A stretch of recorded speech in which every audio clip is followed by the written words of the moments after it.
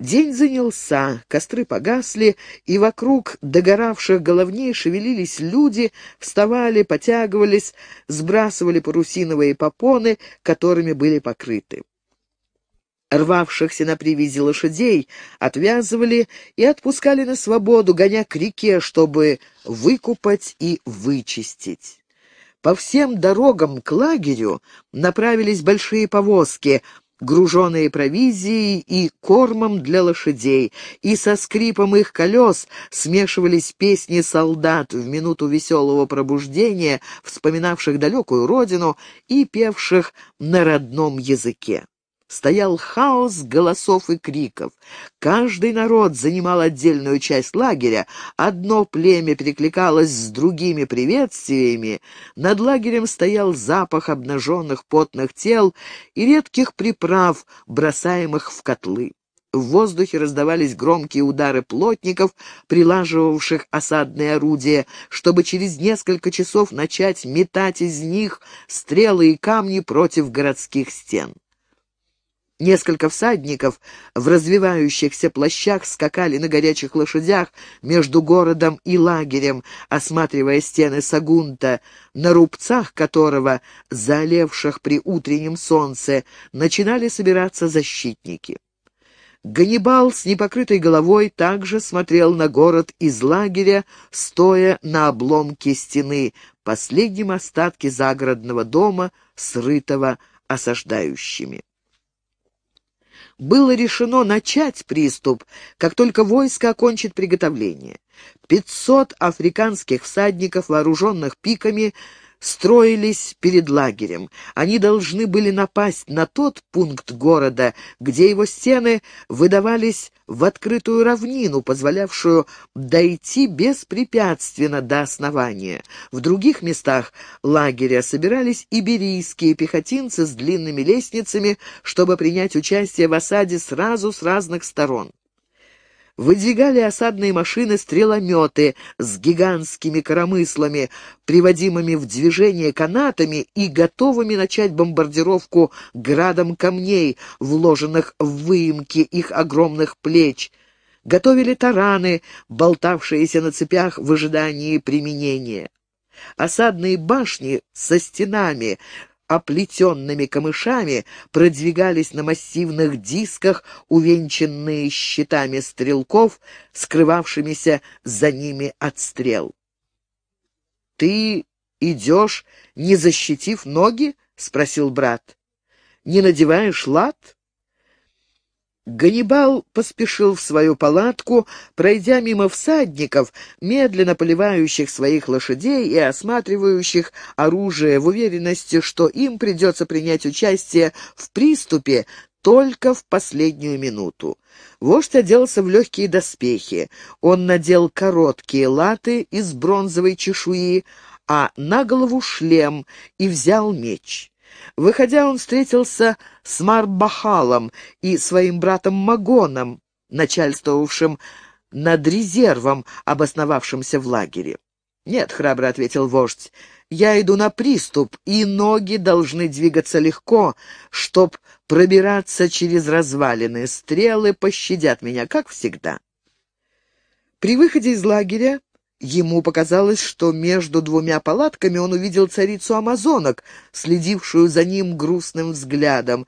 Но когда глаза Азбиты встретились с глазами Ганнибала, она высокомерно отвернулась и ушла. Затрубили трубы, и весь лагерь выступил против города. Выдвинулись вперед мантлеты.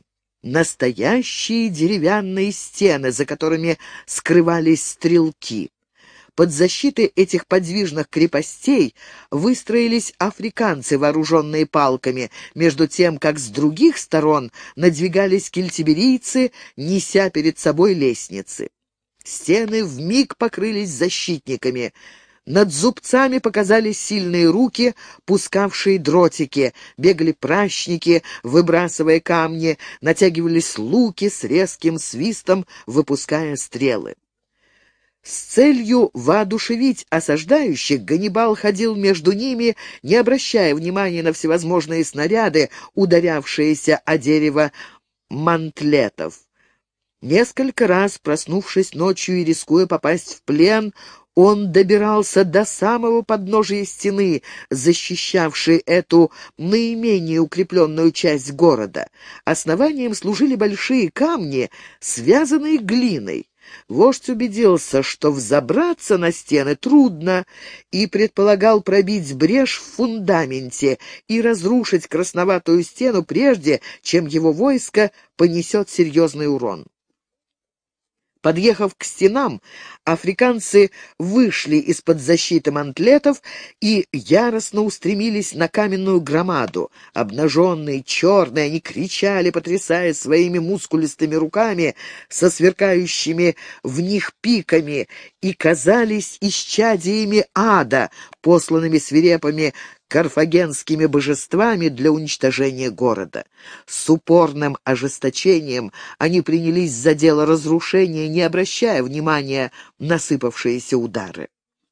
Граждане, рассерженные такой смелостью, высовывались до половины из-за рубцов и осыпали африканцев стрелами и камнями, которые, падая вертикально, выбивали из рядов неприятеля немало жертв.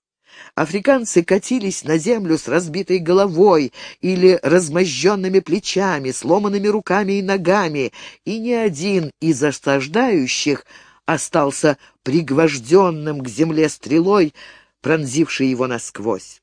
Но новые толпы, подступая по груди трепещущих изувеченных тел, по крови, смешавшейся с глиной стен, выхватывали пики из рук умирающих и с удвоенной яростью продолжали дело разрушения, нанося удары по стене, будто она была их худшим врагом и африканцы, и кельтиберийцы, и галлы, люди всех цветов и рас смешивались, произнося с пеной у рта проклятие каждый на своем языке и чувствуя, как смерть ежеминутно стоит у каждого за плечами. При грохоте таранов и падающих камней, среди стонов раненых, Фаларики зажигали одежду и, впиваясь в голое тело, невыносимо жгли. Люди, корчась от боли, бежали к реке, как живые факелы. Уже часть стены подавалась. Камни сыпались из своих ячеек. Главное было выбить первый, после него другие уже следовали сами собой. Осаждающие спускали крики дикой радости. Они услышали ободрявший голос Ганнибала, но прежде чем они успели поднять головы, чтобы перевести дух, из среды их донесся настоящий вой — на них полилась струя раскаленного адского дождя, капли которого впивались, как бесчисленные ножи в тело. Наверху, между зубцами, горел костер. Купцы плавили слитки серебра из своих складов и лили расплавленный металл, как смертоносный дождь, на тех, кто осмеливался разрушить городские стены. Осаждавшие отступили с яростными воплями и спешили укрыться за мантлетами. Ганнибал, подняв меч, надеялся его ударами остановить бежавших и вернуть к работе, но напрасны были все его старания и все убеждения, что для победы необходимо разрушить стену. Солдаты пожимали плечами с почтением, глядя на вождя, казавшегося неуязвимым, но сами боялись мучений этого ада. Многие катались по земле с пеной у рта, задыхаясь от боли. Вдруг как будто все стены города раскрылись, и все жители его готовились покинуть его.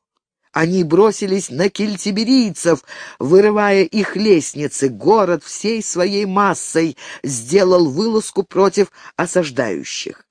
Ворота были слишком тесны, чтобы дать выход вооруженной толпе, теснившейся в них и рвавшейся на простор, как поток, стесненный между гор, и затем разливающейся по равнине. Самые нетерпеливые бросались прямо со стен, чтобы скорее встретиться с врагом.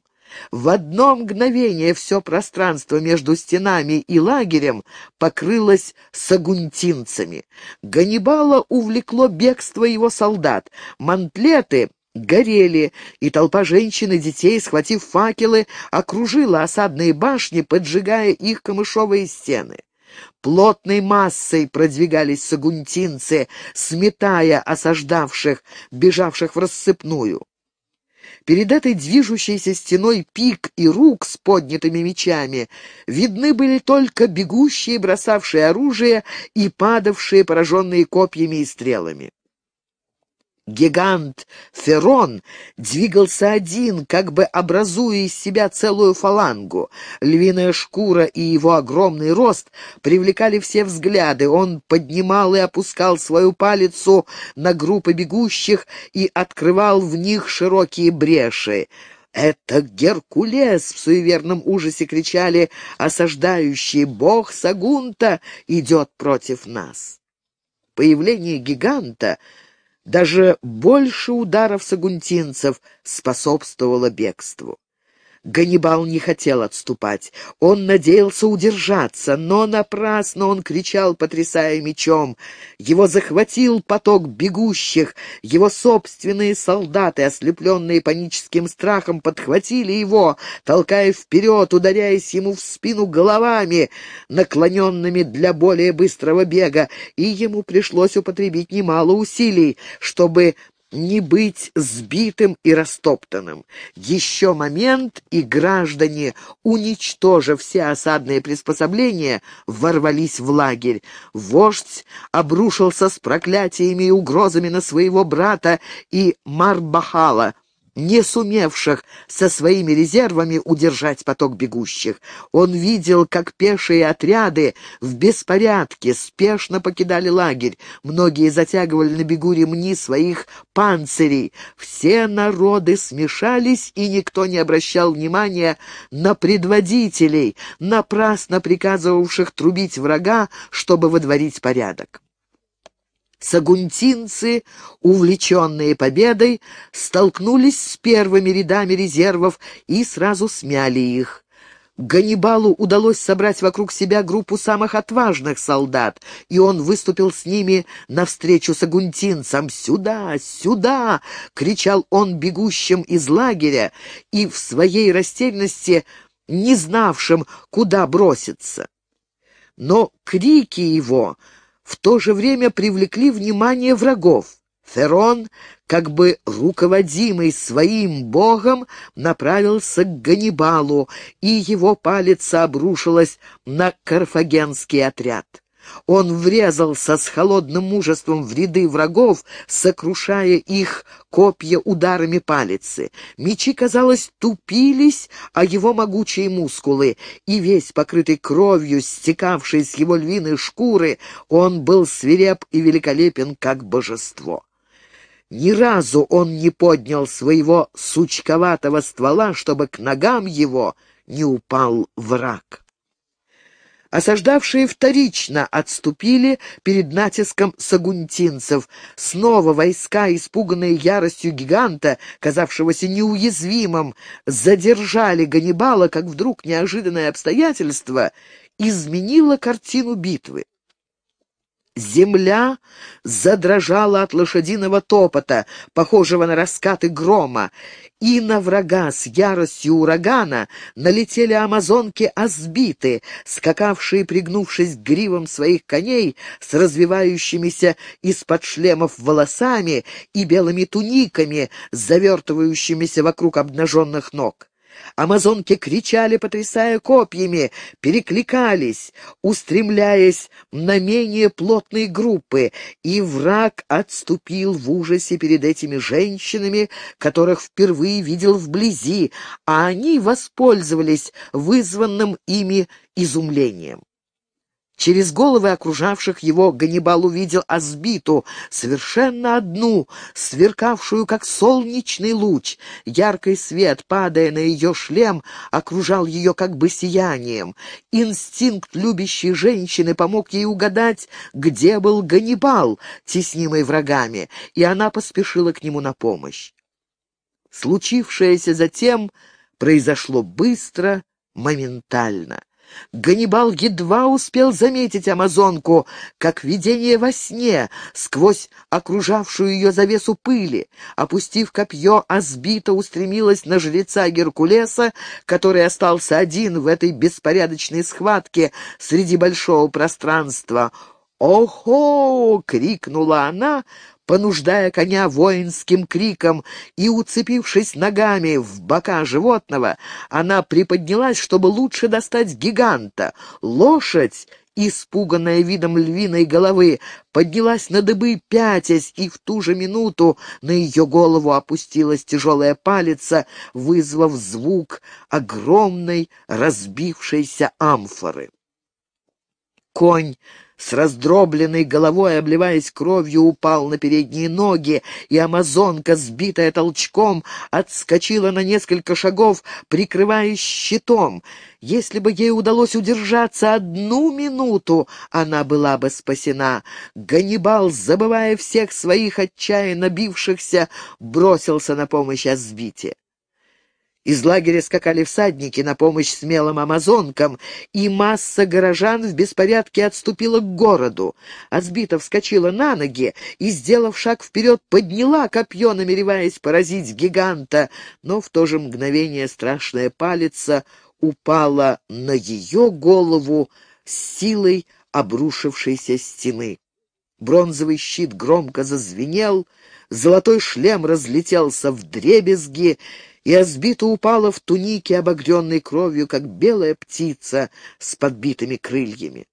Ферон, несмотря на свою ярость, замер, опираясь на палицу, и не обращал внимания на происходившее вокруг, как бы ужасаясь тому, во что его сила превратила эту красивую женщину. «Ко мне, Ферон! Я вызываю тебя, свирепый Геркулес! Попробуй сладить со мной, я Ганнибал. Жрец обернулся и увидел воина с лицом, с закрытым щитом и поднятым мечом, быстро подходившего, описывая круги около него, как тигр, собирающийся напасть на слона и старающийся найти его слабое место. Битва окончилась. Сагунтинцы отступали к городу. Всадники осаждающих подъезжали к стенам, и местами происходили схватки один на один. Несколько солдат подходили медленно и останавливались, охваченные суеверным ужасом, внушаемым гигантом. Ферон не испугался, увидав себя одного. «Ганнибал!» Так этот воин, собиравшийся бороться с ним один на один, Ганнибал?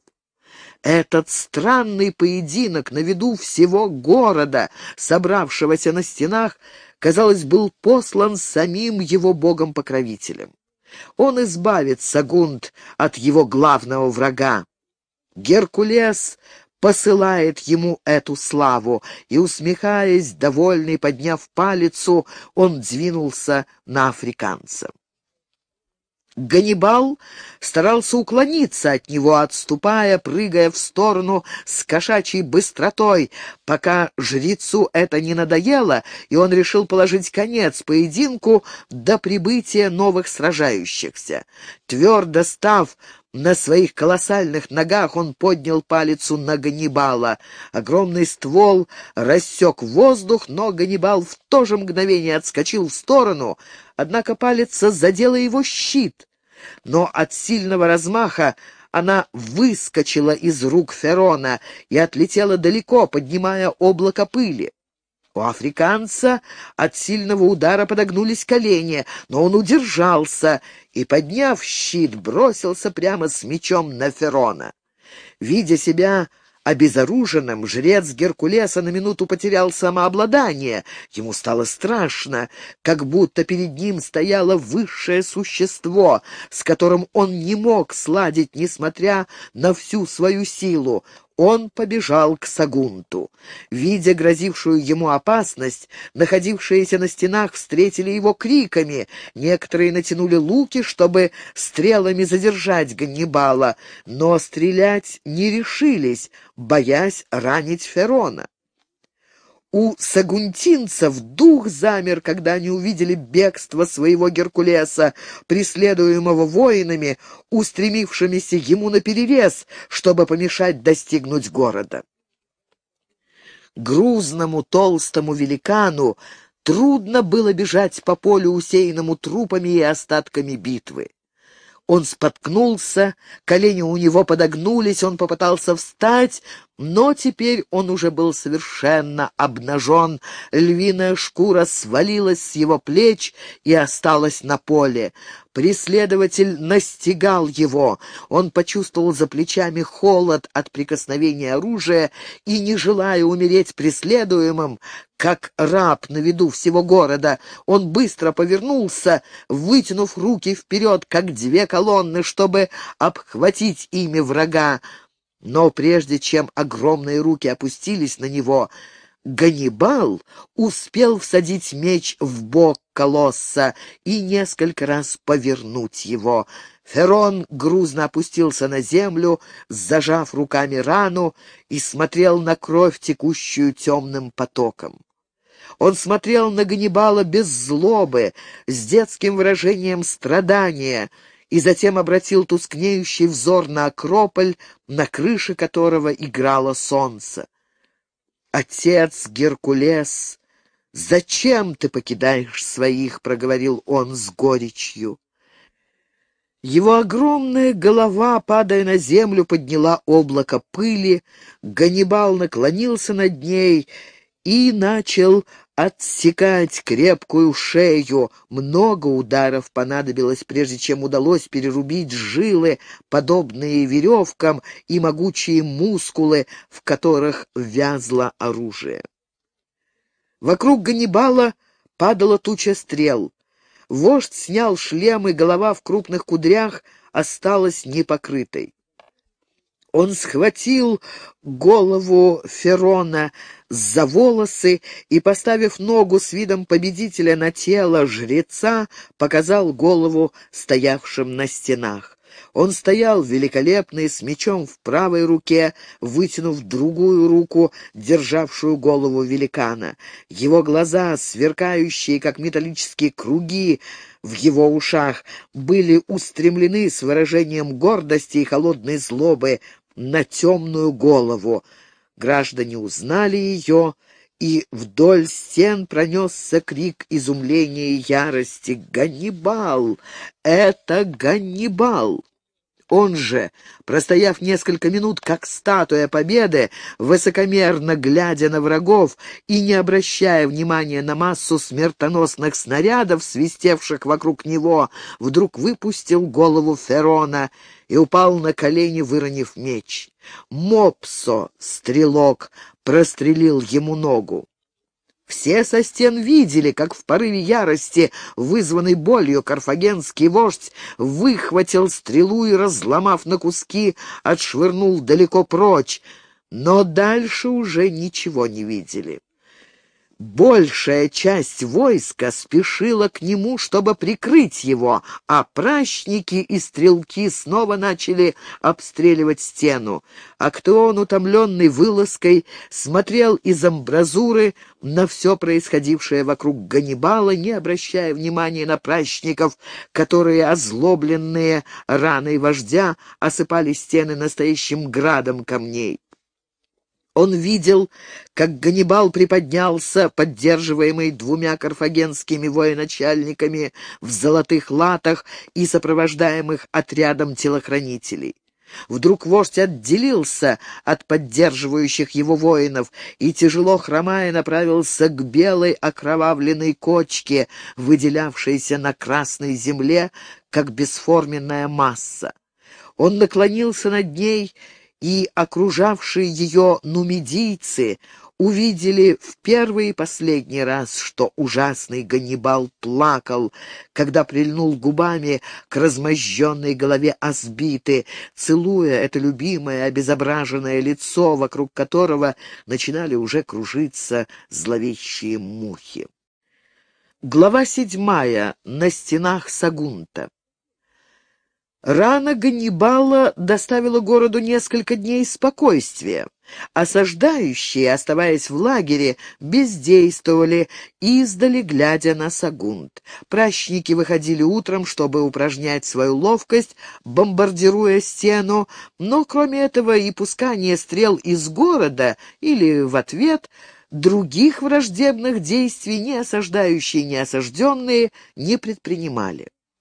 Отряды конницы разъезжали по полям, собирая фураж, а огромная орда свирепых племен заканчивала дело разрушения, грабя деревенские дома и виллы. Группы деревьев все редели, каждый день срубали новые стволы для доставки дерева в лагерь, и на оголенных местах уже не виднелось ни крыш, ни башен. Только дымящиеся и почерневшие развалины поднимались здесь и там среди покинутых полей. Остаток мозаичного пола часто являлся единственным следом изящного загородного дома, срытого до основания вторгнувшимися ордами. Войско Ганнибала все росло. Каждый день прибывали новые племена. Казалось, что вся Иберия, покоренная славой Ганнибала, собралась в лагерь под Сагунтом, стараясь овладеть богатствами города. Прибывали пешие и конные, грязные, дикие, одетые в звериные шкуры или лохмотья, вооруженные серпообразными или короткими обоюдоострыми мечами, жаждущие грабежа и привозившие с собой богатые подарки для африканца, слава которого их устрашала. Сагунтинцы, торговавшие с племенами из центра страны, узнавали со своих стен вновь прибывающих. Они прибывали издалека. Некоторым из них приходилось идти целый месяц, прежде чем достигнуть Сагунта. Здесь виднелись лузитанцы атлетического сложения, об ужасных зверствах которых ходило много рассказов были гамаики, жившие рыбной ловлей и промывкой золота в своих реках, астуры, выделывавшие оружие и мрачные воски, язык которых не могли выучить другие народы, и вместе с ними прибывали новые племена из Бетики, поспешившие отозваться на зов Карфагенинина. Ловкие наездники с оливковым цветом кожи, с волосами, рассыпавшимися по плечам, одетые в короткие белые юбки с широкой пурпуровой бахромой и вооруженные большими круглыми щитами, служившими им опорой при переправах через реки. Лагерь, расположенный вдоль реки, еще больше растянулся по обширной равнине. Масса палаток и лачуг покрыла ее на необозримое пространство. Вырос настоящий город, больше Сагунта, и все увеличиваясь, казалось, собирался поглотить его с его стенами. На другой день после победоносной вылазки сагунтинцев они заметили большое движение в лагере осаждающих. Там происходило погребение царицы амазонок. Сагунтинцы видели, как тело Азбиты было поднято амазонками на щиты. Затем среди лагеря заклубился дым огромного костра, и яркий огонь поглотил останки царицы. Осажденные угадывали состояние умов во вражеском лагере. Ганнибал был прикован болезнью к ложу, и все войско, казалось, разделяло печаль героя. Знахари входили и выходили из его палатки, осмотрев рану, и искали в окрестных горах таинственные травы для приготовления из них целительных пластырей. В Сагунте наиболее храбрые предлагали повторить вылазку и, пользуясь моментом растерянности, ударить на врага, чтобы обратить его в бегство. Но лагерь осаждающих хорошо охранялся. Брат Ганнибала с главными военачальниками зорко следил, чтобы не быть застигнутым врасплох. Войско за земляными окопами находилось как в крепости и, пользуясь досугом, устраивало все новые укрепления, за которыми оно могло бы укрыться в случае нападения. Кроме того, город был не менее поражен смертью жреца Геркулеса. Сагунтинцы не могли себе представить, каким образом африканский вождь смог убить великана Ферона на глазах всего Сагунта, и наиболее суеверные видели в этом небесное знамение, предупреждение, что боги-покровители города начали покидать его. Все проявляли такую же твердость, как и в первые дни, и решили защищаться, но шумная шутливость первого времени исчезла. Казалось, что над городом висело несчастье, и все увеличивавшееся число врагов внушало страх. Каждое утро видели, что вражеский лагерь разрастается. Когда же перестанут прибывать все новые союзники Ганнибала? Великий и богатый торговый греческий город, недавно праздновавший веселый панафейский праздник, представлял собой вид осажденного города. Толпы крестьян, нашедшие убежище в городе, расположились на улицах и площадях, представляя из себя жалкое стадо нищих. В храмах у подножия колонн помещались стонавшие раненые. Наверху в Акрополе день и ночь пылал костер, на котором сжигались трупы умиравших, лежавших на стенах или падавших на улицах жертвой болезней, развившихся от скученности населения. Запасов еще было в изобилии, но они не были свежие, и богатые, предвидя будущее, копили, что могли в ожидании дней нужды. В бедных мазанках – убивали лошадей и вьючных животных и жарили их мясо на огне, разводимом на улицах беглецами, не имевшими крова.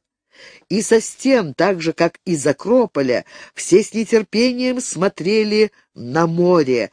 Когда же прибудет помощь из Рима?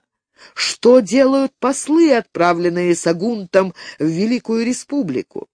Нетерпение часто бывало причиной печальных ошибок, в которые впадал весь город. Однажды утром караульные, выставленные в Акрополе на башне Геркулеса, начали отчаянно стучать в медные доски в знак тревоги.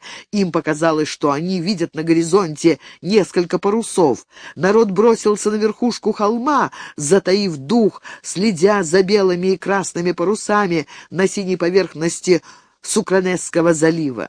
Это они, римляне! Вспомогательный флот идет в гавань. Однако через несколько часов напряженного ожидания наступило разочарование. Это были корабли марсельских купцов, проходившие мимо, или вражеские триремы, посылаемые Газдрубалом, братом Ганнибала из Нового Карфагена с запасами для войска. Каждое из подобных разочарований усиливало мрачное настроение по стенам, и граждане дивились храбрости богатой гречанки, не боявшейся вражеских стрел. Любовь к Актеону и ненависть к осаждавшим придавали ей мужество. Одно имя — Карфагенин — приводило ее в ярость. С высоты Акрополя она видела как взвелось пламя из-под крыши ее загородного дома, как обрушилась красная крыша голубятни, как вырубались чудные рощи, окружавшие ее дом, и как все превратилось в груду обуглившихся развалин, и она поклялась мстить не за потерянное богатство, но за разрушение таинственного приюта ее любви, роскошного жилища, полного воспоминаний. Она чувствовала себя расстроенной при несказанно неудобной жизни в осажденном городе, вынужденная питаться грубой пищей и жить в своем товарном складе. Среди богатств, кое-как наваленных в поспешном бегстве, почти вместе со своими рабынями, и лишенная ванны, так как в городе вода была только в цистернах, и администрация раздавала ее очень экономно, предвидя ее быстрое истощение. Эта жизнь, полная лишений, раздражала ее и вызывала в ней воинственную смелость. Она каждый вечер присоединялась к своему возлюбленному и вместе с Актеоном, душой защиты, распоряжалась рабами, чинившими стену, а затем они отправлялись к Мопсо в Акрополь, чтобы вместе обсудить положение в стане врага. Она надеялась, что можно будет употребить затишье, вызванное болезнью Ганнибала, на то, чтобы поставить город в лучшие условия защиты. И вот она ходила по стенам, разговаривая с молодежью, обещая богатые награды тем, кто наиболее отличится, и убеждая всех сделать беспримерную вылазку, всем городом устремиться из стен на врагов и оттеснить их до самого моря. Постоянными спутниками сонники были Эросион и Ранто. Жизнь в тесном пространстве и общая опасность сблизили их со многими людьми, и они следовали за своей госпожой, встречая восторженной улыбкой все ее слова и воинственные замыслы. Ранто уже не была пастушкой. Всех ее коз одну за другой съели в доме сонники, и у нее не осталось иного занятия, как следовать за госпожой рука об руку с Эросионом. Она была счастлива таким положением вещей и желала бы, чтобы ему не было конца. Даже мрачный Мопсо, отец ее возлюбленного, при встрече с ними не протестовал и часто улыбался, видя их счастливыми и спокойно ходящими по стенам без страха перед стрелами. Опасность заставила людей сблизиться между собой. Богатые коммерсанты стреляли из лука, стоя за зубцами рядом с рабами. Нередко можно было видеть, как богатая гречанка разрывала свою полотняную тунику, чтобы перевязать раны грубого наемника, и богачка Сонника, прежде относившаяся высокомерно к городским женщинам, уговаривала рабынь образовать отряд амазонок, подобный тому, какой следовал за Ганнибалом. Ранто, довольная новым положением, была ослеплена своим счастьем до того, что не замечала всеобщего горя и бедствий вокруг себя. Сочувствуя своему возлюбленному, она часто вырывала у него из рук лук и увлекала юношу в отверстие лестницы у подножия стены, и там ласкала его с новой страстью. Наслаждение под свист стрел, крики ярости и стоны, раздававшиеся наверху, казались ей еще притягательнее. Перерыв в военных действиях продолжался всего двадцать дней. В тишине лагеря, не переставая, раздавался стук плотников, и граждане видели, как мало-помалу росла большая деревянная башня в несколько этажей, превышавшая городские стены. Ганнибал окреп и рвался возобновить осаду. Желая, чтобы враги увидели его, он стал выходить из палатки, как только рана закрылась, и часто скакал вдоль стен в сопровождении своих военачальников. Вид его ослеплял сагунтинцев. Он горел, как яркий огонь на своем черном коне. Солнце окружало его ослепительным сиянием, будто он был каким-то божеством. Он был одет в латы и шлем, принесенные ему в дар галаистскими племенами и изготовленные ими из золота их рек. Вождь предпочитал бронзовые доспехи, побывавшие не в одной битве, но он совершал свои поездки вокруг Сагунта на показ и желал поразить своим появлением граждан, желал, чтобы они видели его величественным, как Бога. С появлением Ганнибала снова началась осада, но еще более ожесточенная. Сагунтинцы с первого момента поняли, что осаждающие воспользовались затишьем, чтобы усилить свои наступательные средства. Они продвигали с большими усилиями огромные деревянные башни, которые успели выстроить. В них скрывались стрелки, стрелявшие из прорезанных в стенах амбразур. Верхняя площадка была настолько выше городской стены, что стрелометы бросали оттуда большие камни, сеявшие смерть между защитниками города. Ганнибал выходил из себя, возбужденной стойкостью сагунтинцев, и стремился кончить скорее осаду. По стенам уже стало невозможно ходить открыто. Осадные башни пододвинули к тому выдающемуся месту города, которое Ганнибал считал за самый слабый пункт. Стрелы и камни падали на стены без перерыва, и в то время, как защитникам приходилось скрываться за зубцами, и они не могли выстроиться внизу у фундамента, работали под защитой тур-тараны, медленно разрушая стену, и африканцы, оставшиеся в живых после первой вылазки, теперь работали с большой уверенностью и мало-помалу открывали брешь.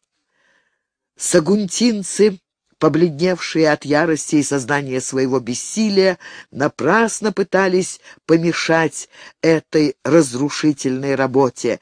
Осадные туры, катившиеся по ровному месту, движимые усилиями людей, скрывавшимися за ними, переезжали с места на место, принося с собой смерть, и иногда приближались настолько, что граждане могли слышать голоса целившихся стрелков а тем временем внизу у основания стен продолжалось медленно, но упорно дело разрушения наиболее горячие граждане, сгоравшие негодованием при виде безнаказанного разрушения своих стен, высовывались, чтобы стрелять в неприятеля, вооруженного луками и копьями, но едва они появлялись из-за своего прикрытия, как на них сыпался каменный дождь, или они падали пронзенные стрелой.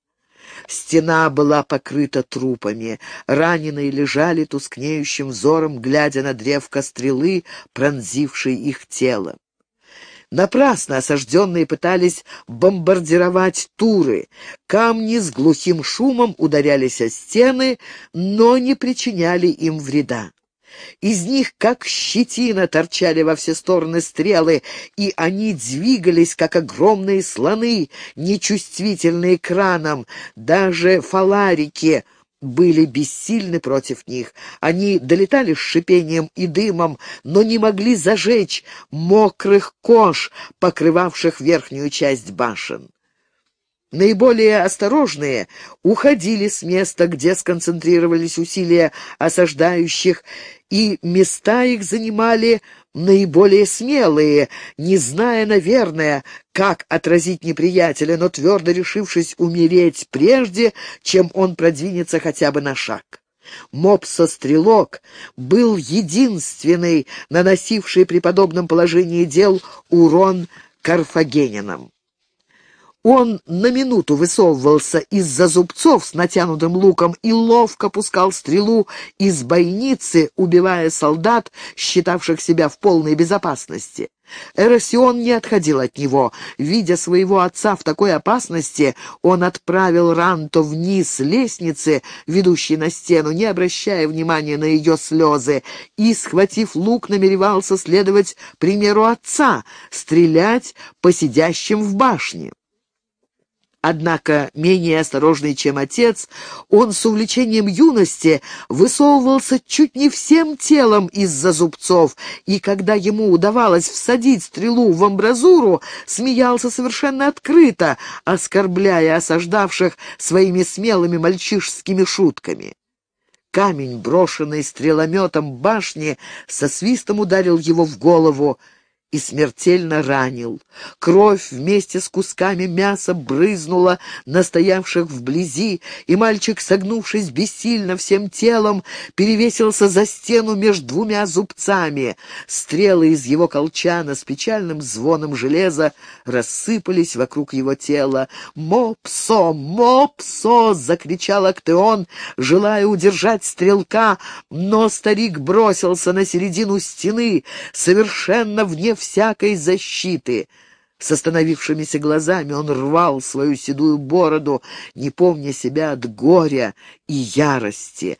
Три раза он пытался натянуть свой лук, чтобы пустить стрелу на площадку башни, где находится стреломет, но, несмотря на все свои усилия, не мог сладить с оружием. Горе, неожиданность, отчаяние, что он одним ударом не может уничтожить всех врагов, лишили его сил. Между тем, как он боролся с непокорным оружием, как бы восставшим против него, вокруг его головы свистели вражеские снаряды. Видя себя бессильным, охваченный горем перед обезображенным трупом сына и не имея возможности отомстить, он испустил стон и, собрав всю свою силу воли, бросился со стены на останки Эросиона. Голова его с глухим шумом ударилась о камни, из нее хлынул поток крови, и отец с сыном образовали неподвижную группу невдалеке от осаждавших, продолжавших тараном разбивать стену. Почти целый день продолжалась отчаянная борьба. Сагунтинцы, охранявшие эту часть стены, не могли помешать приближению врага.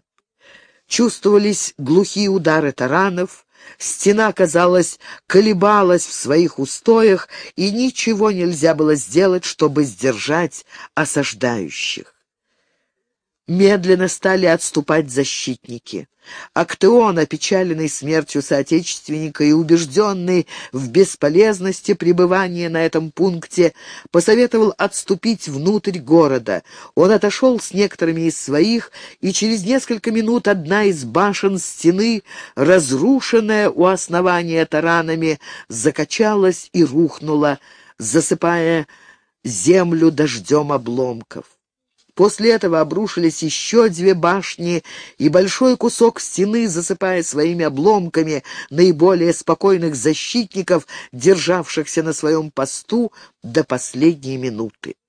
Громкие крики, взрыв дикой радости встретили со стороны осаждающих падение стены. Через открывшуюся брешь из улиц города виднелась опустошенная равнина и часть лагеря. Засверкало оружие в тесном проходе с заваленным обломками. Темная масса надвигалась, и слышался звук рогов. «Приступ! Карфагенине входят в город!» Со всех сторон сбегались вооруженные люди, из узких улиц, соседних со стеной, катился людской поток, все кричали, потрясали мечами и секирами. С лицами людей, готовых умереть пробираясь по обломкам, собрались у бреши, и это открытое пространство, широкая щель, прорвавшая каменный пояс города, скоро наполнилась пестрой толпой, потрясавшей оружием и образовавшей плотную, непроницаемую массу. А кто он был в первых рядах? Рядом с ним шел благоразумный Алько, заменивший свой посох мечом, и многие из тех спокойных купцов, хитрые лица которых как бы облагородились героической решимостью умереть прежде, чем уступить врагам. Когда последние пошли на приступ, они увидели, что им придется иметь дело с целым городом. Осадные башни, стрелометы, тараны уже не могли служить им. Тут предстояла борьба один на один, и горожане также уже не прибегали к фаларикам, но пускали в ход только мечи и секиры. Ганнибал пеший предводительствовал фалангой, приближавшейся, подняв пики и опустив мечи. Он бился, как простой солдат, стараясь овладеть этим городом, задержавшим выполнение его плана, понимая, что наступила решительная минута, и крепостью можно овладеть только напрягая все свои силы. Отрывистыми словами он обращался к солдатам на различных наречиях их племен, напоминал о несметных богатствах города, о красоте гречанок и значительном числе рабов, находящихся в стенах. И балеарцы шли на приступ, нагнув головы, выставив вперед пики со стриями, закаленными в огне. Кельтиберийцы орали свои военные песни, ударяя себя в грудь, как в звонкий барабан, и размахивая короткими обоюдоострыми мечами. Нумидийцы же и мавританцы, спешившись, переходили с одной стороны на другую, коварно из-под тяжка пуская в горожан стрелы, скрытые под их белыми покрывалами. Все было напрасно. Брешь представляла узкое ущелье. Карфагенское войско, несмотря на численное превосходство, должно было стягивать свой фронт. Таким образом, восстановилось равновесие сил, а на стороне сагунтинцев было преимущество положения, и они отражали наступающих каждый раз, как те намеревались взобраться на груду обломков. Мечи врезывались в тела, пики распарывали груди, сражающиеся схватывались в рукопашную, переплетаясь руками, как ремнями, ломали ноги, сдавливали друг у друга грудь, дышавшую как мех, и катились по земле, разбивая себе лицо. Вставая, победитель не раз с гордостью замечал, что держит в зубах кусок кровавого мяса. Отряд Ганнибала, как ураган, налетел на брешь, и стремительность натиска заставила дрогнуть массу защитников, но ни один не тронулся с места. Они решили умереть на посту, образуя плечом к плечу плотную массу, где каждому волей-неволей приходилось быть храбрым, потому что было слишком тесно, чтобы бежать. Такой бой продолжался несколько часов. Груды трупов, скоплявшихся между наступающими и защитниками, затрудняли движение первых. Солнце начинало склоняться к закату, и Ганнибал чувствовал утомление от борьбы со стойким сопротивлением, о которое разбивались все его усилия. Веря в свое счастье, он велел трубить к последнему приступу, но в эту минуту случилась неслыханная вещь, смутившая вождя и внесшая замешательство в его отряд. Актеон не мог определить, откуда доносился голос. То была галлюцинация, выдумка какого-то увлекающегося, утомленного продолжительным сопротивлением. «Римляне!» — кричал голос. «Наши союзники прибыли!» Весть быстро распространилась, и ее приняли с легковерием, приданным опасностью. Сообщили друг другу рассказ, что сторожевые на башне Геркулеса видели флот, направляющийся в гавань, и сейчас же приятную новость передавали защитникам бреши. Все ей поверили, прибавляя от себя новые подробности, и в глазах блестела радость, лица раскраснелись, даже раненые, лежавшие среди обломков, поднимали руки, крича «Римляне! Римляне идут!» Сразу в беспорядке, будто влекомые невидимой силой, все устремились из бреши, и как лавина обрушилась на врага, строившегося для последнего приступа. Неожиданность натиска, сила изумления, этот крик «Римляне! Римляне!» с таким убеждением, повторяемый сагунтинцами, внесли смятение в варварские племена Ганнибала. Однако они защищались, хотя весь город напал на них. Даже женщины и дети сражались, как в день смерти Ферона, и солдаты Ганнибала, разбитые на мелкие отряды, не видя и не слыша своих начальников, побежали к морю. Ганнибал отступал, скрежеща зубами от ярости. Мысль, что осажденные бьют его войска, сводила его с ума. Ярость до того ослепила его, что он попал в среду врагов и несколько раз рисковал пасть под их ударами. Начало темнеть. Сражающиеся сагунтинцы приближались к окопам лагеря, между тем, как остальное городское население, рассеявшись по равнине, добивало раненых и намеревалось поджечь осадные машины, и они уничтожили бы все, если бы Марбахал, военачальник Ганнибала, не выехал из лагеря с несколькими когортами всадников. Горожане не могли устоять против кавалерии в открытом поле и начали медленно отступать. Под покровом ночи они снова заняли брешь, громко возвещая об одержанной победе. Актеон с некоторыми из наиболее отличившихся в битве с агунтинцами приступил к укреплению города.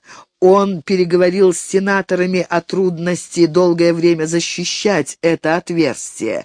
Невозможно несколько раз повторять уловку предыдущего вечера. А зажденные всю ночь проработали при свете факелов под брешью, сбрасывая черепицу и разрушая стены.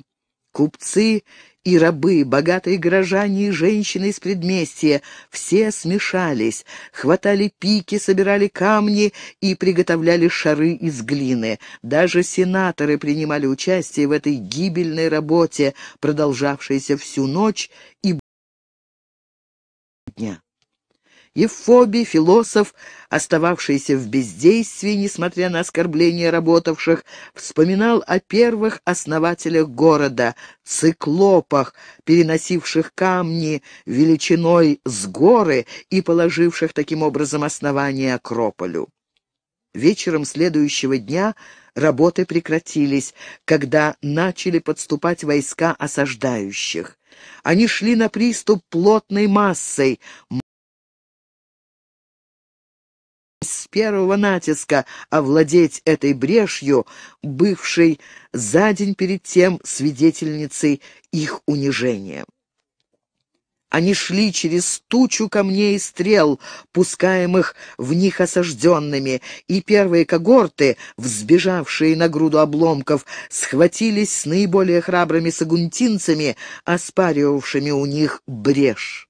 После короткой битвы осаждающие овладели входом в город и возвестили об этом торжествующими криками. Ганнибал храбро предводительствовал своими солдатами, но в ту минуту, как они достигли высшей точки, он отступил на шаг с выражением крайней досады. Он увидел перед собой целый ряд разрушенных домов а за ними новую стену, поднимавшуюся гораздо выше груды развалин, стену, выстроенную неожиданно, как будто огромная метла смела сюда, ко входу в город, все обломки ярости, видя, что все усилия помогли ему овладеть лишь пятью земли, покрытой развалинами, и что стена, разрушенная им, каким-то чудом воздвиглась снова в одну ночь еще выше прежнего. Сагунд разрушил стены дома, чтобы укрепиться и перерезать путь врагу. Он видел, что предстоит отбивать землю шаг за шагом, улицу за улицей, и что пройдут целые месяцы, прежде чем ему удастся добраться до форума наверху Акрополя, прежде чем он принудит город сдаться. На новой стене сагунтинцы проявили не меньше стойкости, чем накануне, и их прощи и стрелы отразили приступ. Карфагенинам пришлось отступить, ища убежище за обломками бреши. Стоя у городских стен и глядя на вершину Акрополя, Ганнибал раздумывал. Он предвидел возможность потерять мало-помалу все свое войско, нападая на Сагун с равнины, слабого места города, где граждане стойко защищались. Позвав Марбахала и своего брата Магона, он объяснил им необходимость иметь в своем распоряжении какую-нибудь возвышенность и для этого овладеть хотя бы частью огромного холма, на котором стоял Акрополь, чтобы оттуда начать враждебные действия против города и принудить его таким образом сдаться. Прошло несколько дней без возобновления враждебных действий со стороны реки. Осадные машины были переведены к подножию холма и посылали свои тяжеловесные снаряды к самым отдаленным стенам Акрополя. Стены эти были старые, и их давно не чинили, потому что сагунтинцы уповали в неприступность высот. Число защитников города было недостаточным, чтобы растянуться на все протяжение укреплений между тем, как осаждающие располагали вооруженной массой, которая могла устремиться сразу на различные пункты.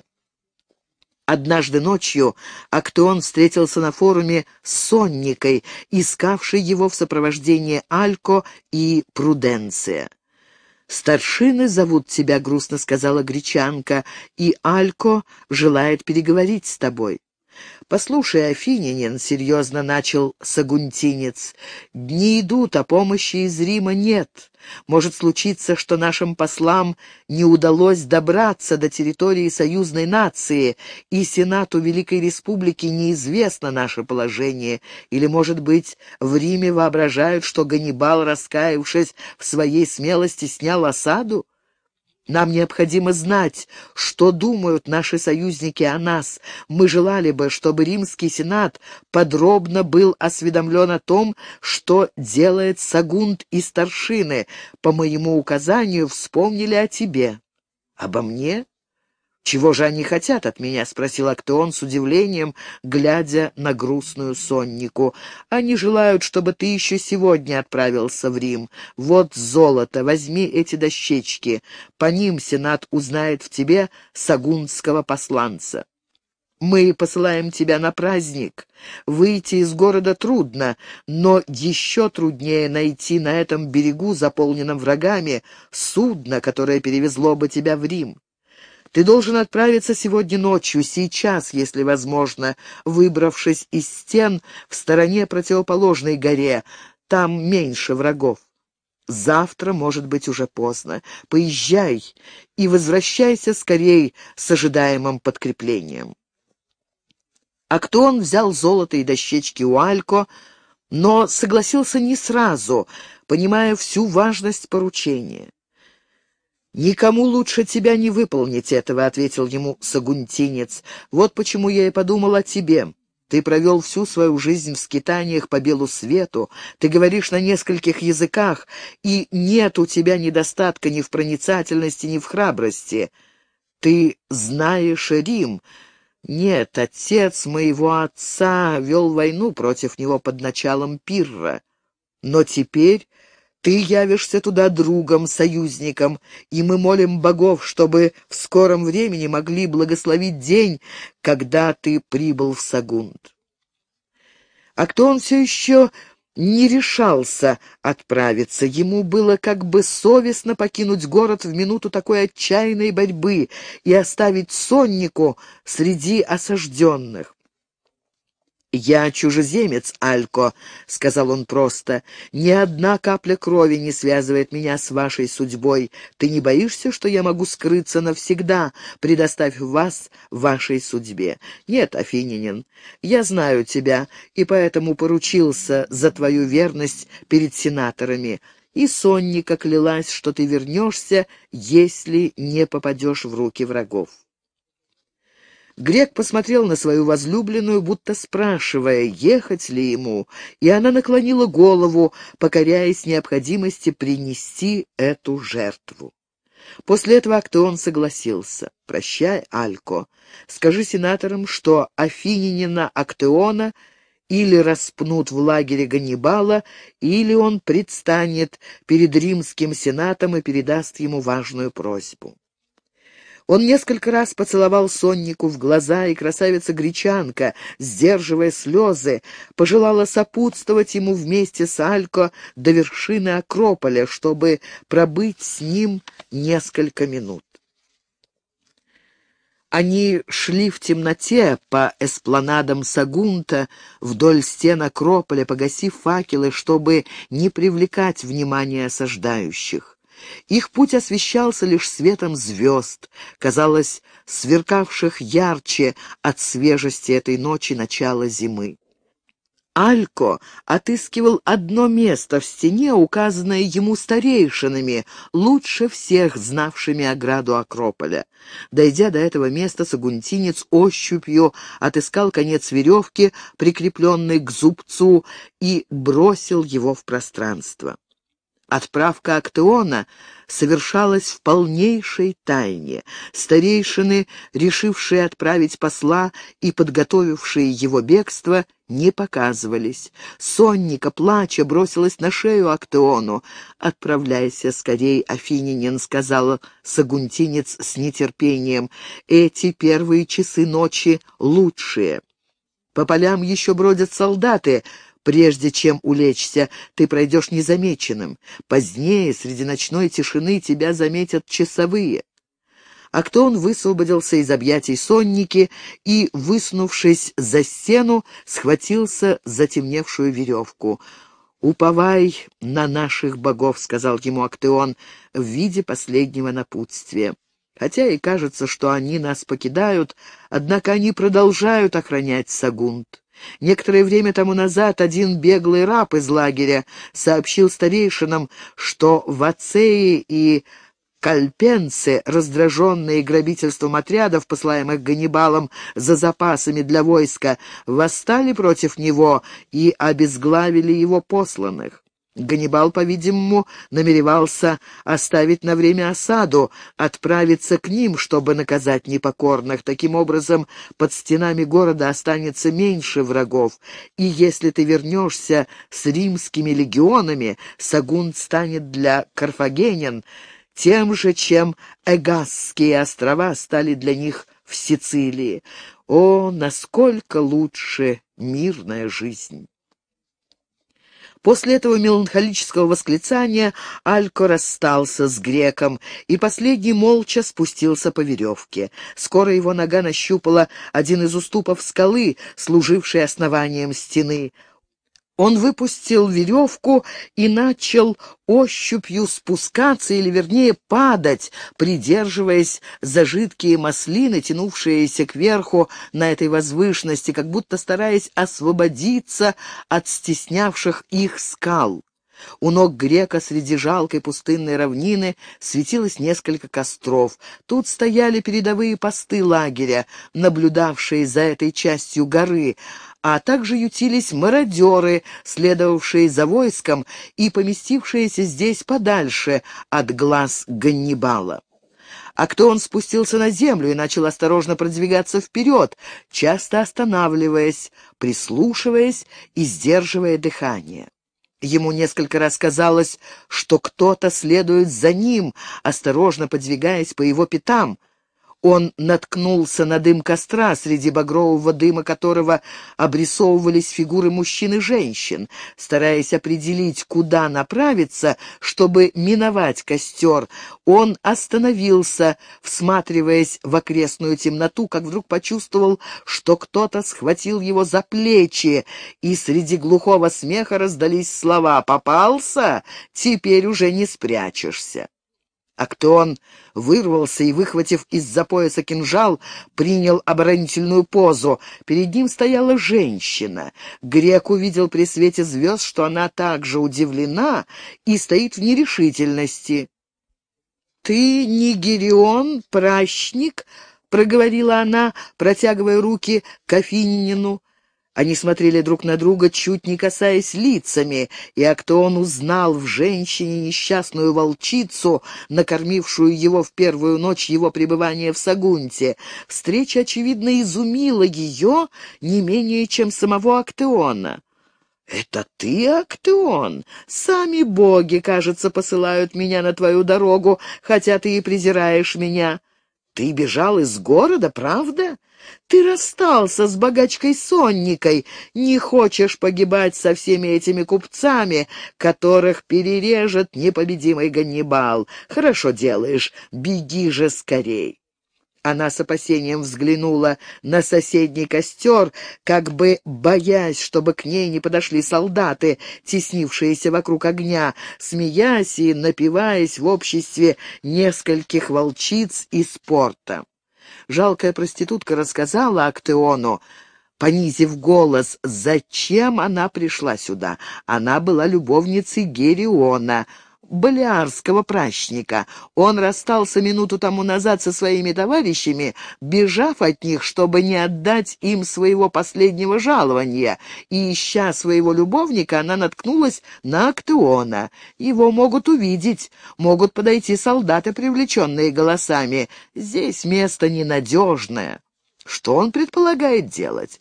Хочу добраться до берега, может быть, посчастливится встретить какую-нибудь рыбачью барку, которая доставит меня в Эмпарион или Дению.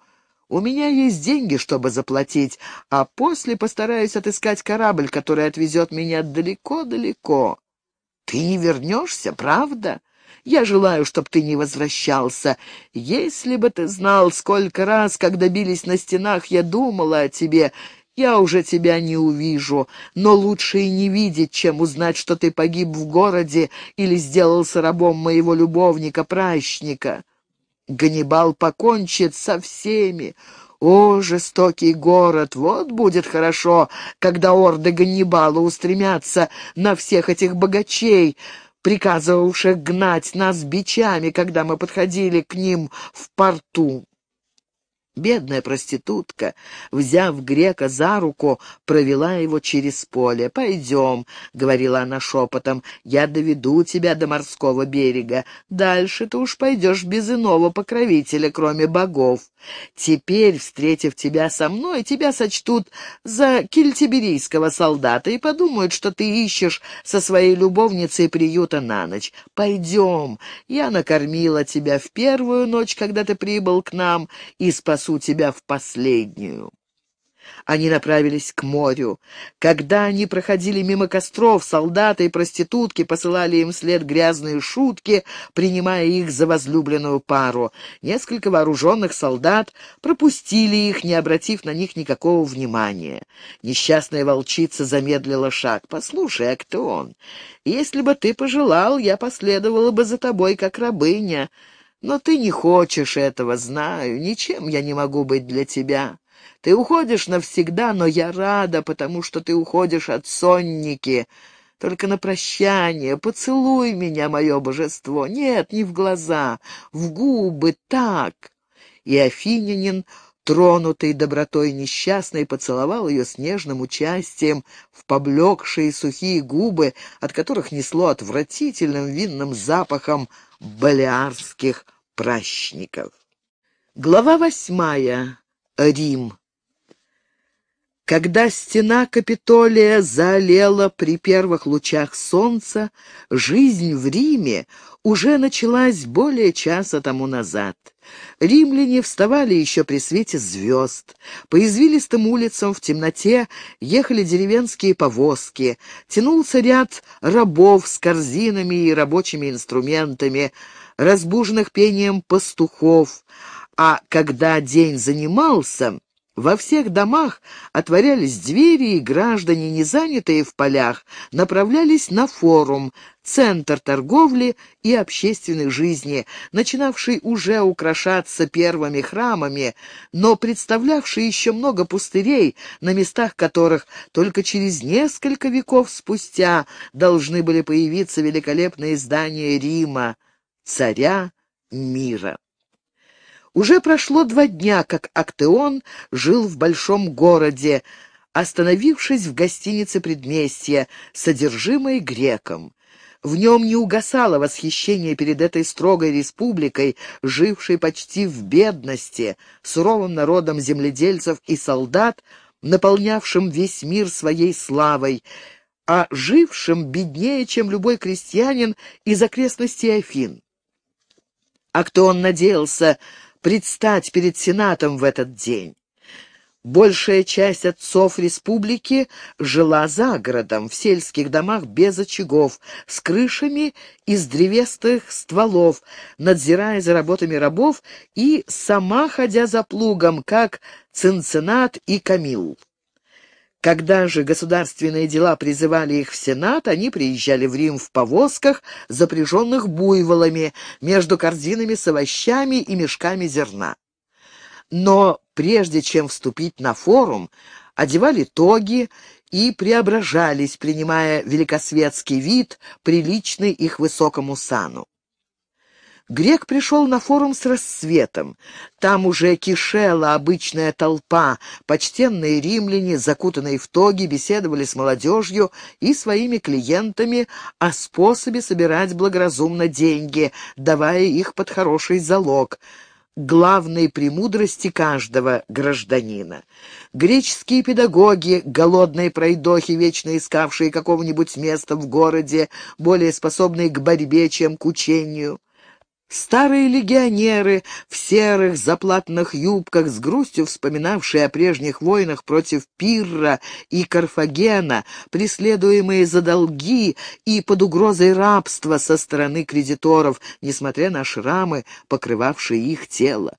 Наконец, простой народ, всю одежду которого составляла лацерна, короткая накидка из грубого сукна, с кукулосом — остроконечным капюшоном, римская чернь, теснимая и эксплуатируемая патрициями, вечно мечтавшая, как о лекарстве от всех зол, о новом разделе общественных земель, постепенно путем залога, переходивших в руки богачей. На ступенях коммиции собирались граждане одной из триб, обсуждая завещание одного из ее членов, только что умершего.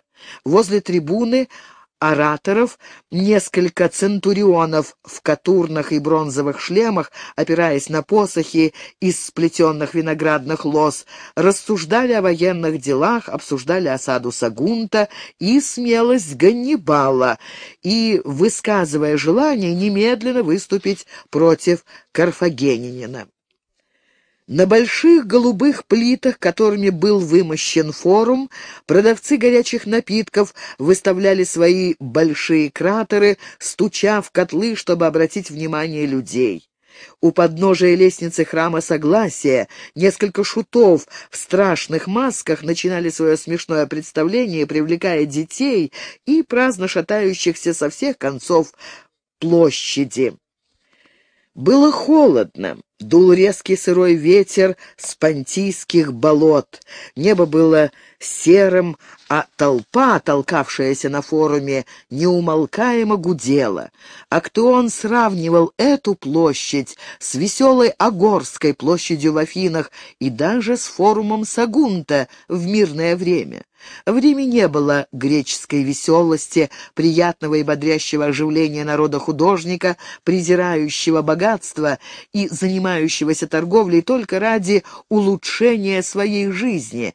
Здесь был народ холодный и печальный, стремящийся к наживе и экономии, презрительно относящийся к идеалу, не знающий другого занятия, кроме земледелия и войны, истощавший почву, и грабивший врагов народ, рутинер без увлечений и юности. Этому народу, — думал Афинянин, — никогда не было двадцати лет, дети уже родятся стариками. И Актеон припоминал все, что успел заметить за эти дни со своей греческой наблюдательностью, жестокую дисциплину семьи, религии и государства, которой были подчинены все граждане, полное невежество в искусстве и поэзии, суровое и безотрадное воспитание, основанное исключительно на долге, принуждавшее каждого римлянина к постоянному тяжелому повиновению для того, чтобы со временем получить право подачи голоса. Отец, бывший в Греции другом, в Риме являлся тираном. В латинском городе было одно только полноправное существо — отец семейства. Жена, сыновья, клиенты — все стояли наравне с рабами. Боги слушали только его одного. Он был в своем деле жрецом и судьей, мог убить жену, продавать сыновей, и его власть над семьей не прекращалась с годами. Консул-победитель, всемогущий сенатор дрожали в присутствии своих отцов. И в этой более мрачной и деспотической организации, чем даже спартанская, а кто он угадывал скрытую тайную силу, которая со временем вырвется из тисков – и охватит весь мир пожаром. Грек ненавидел этот суровый народ, но удивлялся ему. Его некультурность, воинственный суровый дух ясно обнаруживались на форуме. На вершине священного холма Капитолий представлял из себя настоящую крепость с обнаженными мрачными стенами, без всяких украшений, заставлявших блестеть вечной улыбкой цитадель Афин. Храм Юпитера Капитолийского едва превышал стены своим низким куполом и рядом некрасивых массивных, как будто быки, моста колонн. Внизу, на форуме, все было так же некрасиво и мрачно. Здания были низкие, крепки, они казались скорее постройками, возведенными в целях войны, чем храмами богов и общественными зданиями. С форума начинались большие римские дороги, единственная роскошь, которую решался доставить себе Рим – но и то только потому, что они представляли удобство для передвижения легионов и сбыта земледельческих продуктов. От форума прямой линии начиналась Аппиева дорога, вся вымощенная голубыми плитами с двумя рядами столбов, начинавшимися у города и тянувшимися по полям в направлении Капуи. В противоположную сторону направлялась дорога Фламиния вдоль берега до самых цисальпинских земель.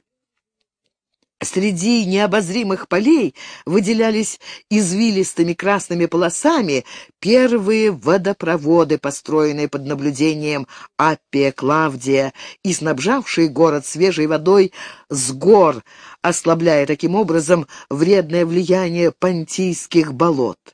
Но кроме этих примитивных построек, сам обширный гигантский город, способный выставить до 150 тысяч сражающихся, представлял жалкий, некультурный вид, напоминая собой те местечки, которые Актеон встречал во время своего путешествия до Кельтиберии. Не было двухэтажных домов.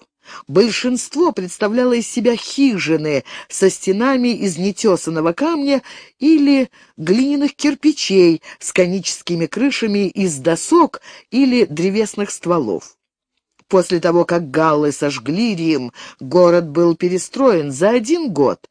Дома ютились местами до такой степени тесно, что даже одному человеку было трудно пробираться между ними. В других же местах они стояли в разброс, как загородные дачи, окруженные небольшими полями в пределах города.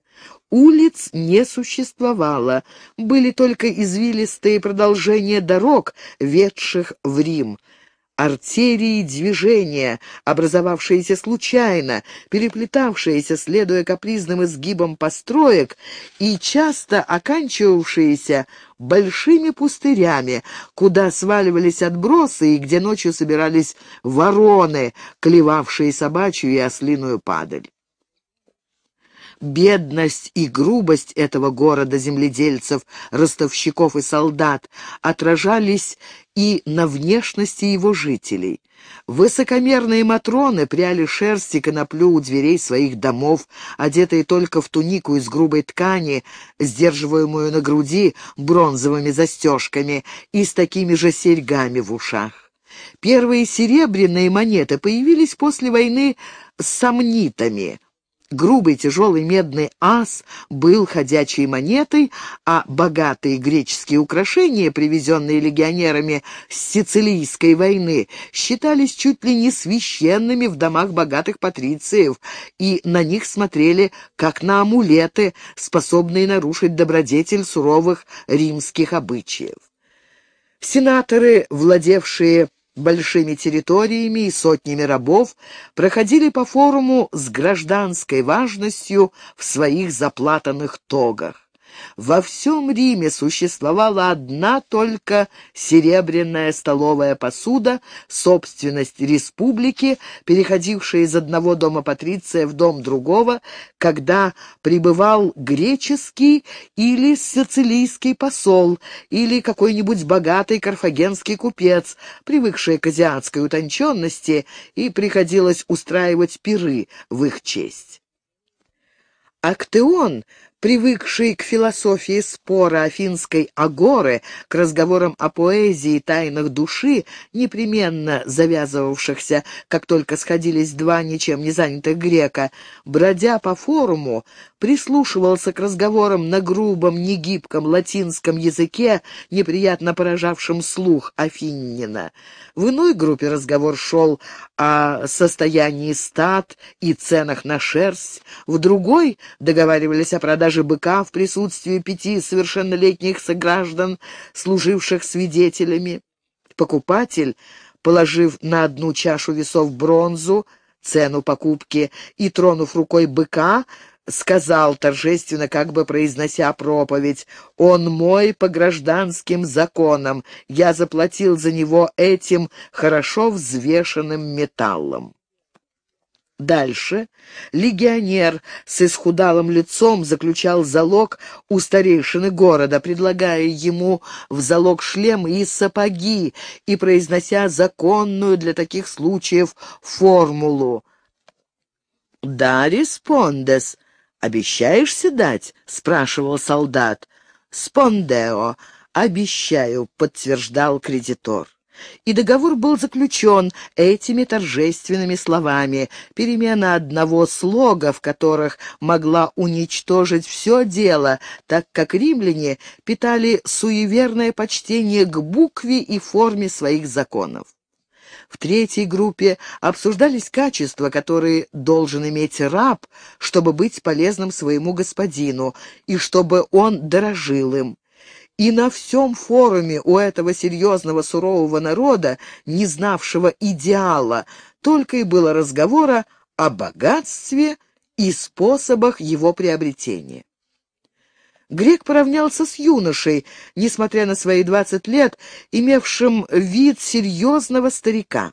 Его постриженные до корня волосы были рыжие, а в холодном взгляде виделся ум и хитрость. Он шел медленно рядом с мальчиком, слушавшим его с вниманием, как учителя. «Хотя твой отец и консул, — говорил Рыжий, — но ты не должен забывать, Сципион, что для того, чтобы быть хорошим гражданином и служить республике, недостаточно умения владеть копьем и конем, не умея обрабатывать землю и не зная секретов земледелия. Придет день, когда наши войска призовут к делу, и тогда недостаточно будет завоевывать земли для Рима, но надо будет их обрабатывать, чтобы они давали доход. Ты этого не понимаешь? Нет, Катон, — отвечал мальчик. Ты ежедневно должен выучивать статью на каждый месяц из календаря, составленного нашими предками.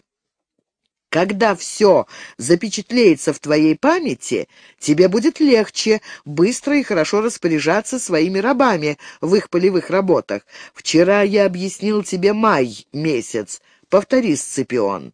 «Май месяц», — начал мальчик, нахмурив брови, как бы для того, чтобы лучше собраться с мыслями. «Тридцать один день.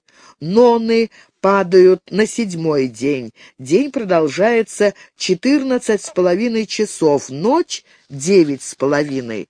Солнце вступает в диск Тельца, покровитель месяца Аполлон. Полют хлеб, стригут овец, моют шерсть ставят под ермо молодых бычков, собирают бобы на полях, чистят оросительные каналы, приносят жертвы Меркурию и Флоре. Ты запомнил хорошо, Сципион. Наши предки не имели и не желали иметь другой науки — с них было достаточно знать, что они должны делать в каждый месяц года с помощью этого знания, вместе со смелостью в защите своих полей и захвате соседних земель, они основали наш город, который все растет, скоро сделается первым во всем мире. Мы не болтуны, как греки, в восторге преклоняющие колено перед кусками мрамора и спорящие, как шуты, о том, что будет после смерти. Мы не так честолюбивы, как карфагеняне, основывающие свою жизнь на торговле, и извлекающие из моря все его богатства. Наша жизнь вся в земле. Мы выносливее других народов, хотя и слабее их. Мы идем медленнее, но зато пойдем дальше.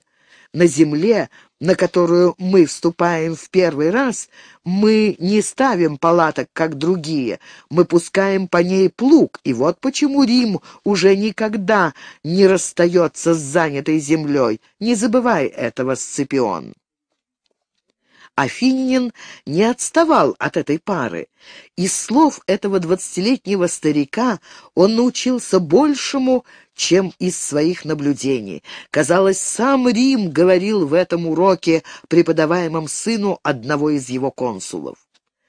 «Ты также должен знать правила семейной жизни каждого доброго гражданина», — продолжал Катон.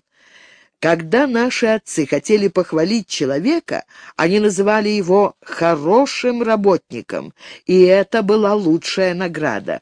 Жили они на этой земле в сельских общинах, считавшихся самыми почтенными, а в Рим приходили только в базарные дни, да в дни народного собрания. И хорошими гражданами оставались те, кто вел жизнь Цинцината и Камилла, являясь только на собрание Сената, потому что война с ее походами на новые страны испортила многих, и эти люди пожелали жить в городе, заменив старинные римские хижины с деревянными крышами и их простыми пенатами, большими домами с колоннами, как у храмов, украшенными богами и богинями, вывезенными из Греции. Энергичный жест Катона показал все его презрение к подобным иноземным утонченностям, начинавшим прорываться в суровые нравы страны. Хороший гражданин не должен терять в деревне ни одного дня. Если погода заставляет его оставаться дома, он должен заниматься чисткой хлевов и загонов, починкой старых изгородей и присмотреть за женщинами, чтобы они чинили платья. Даже в праздничные дни надо вставать рано. Починить изгороди, выкупать стадо и затем уже отправиться в город продавать масло и плоды. Не следует терять время в советах с предсказателями и авгурами – не служить богам, заставляющим уходить из дому. Довольно с нас богов нашего домашнего очага и ближайших окрестностей. Лары, маны и сильвалы в достаточной степени охраняют доброго гражданина. Наши отцы не искали других богов и, тем не менее, были велики.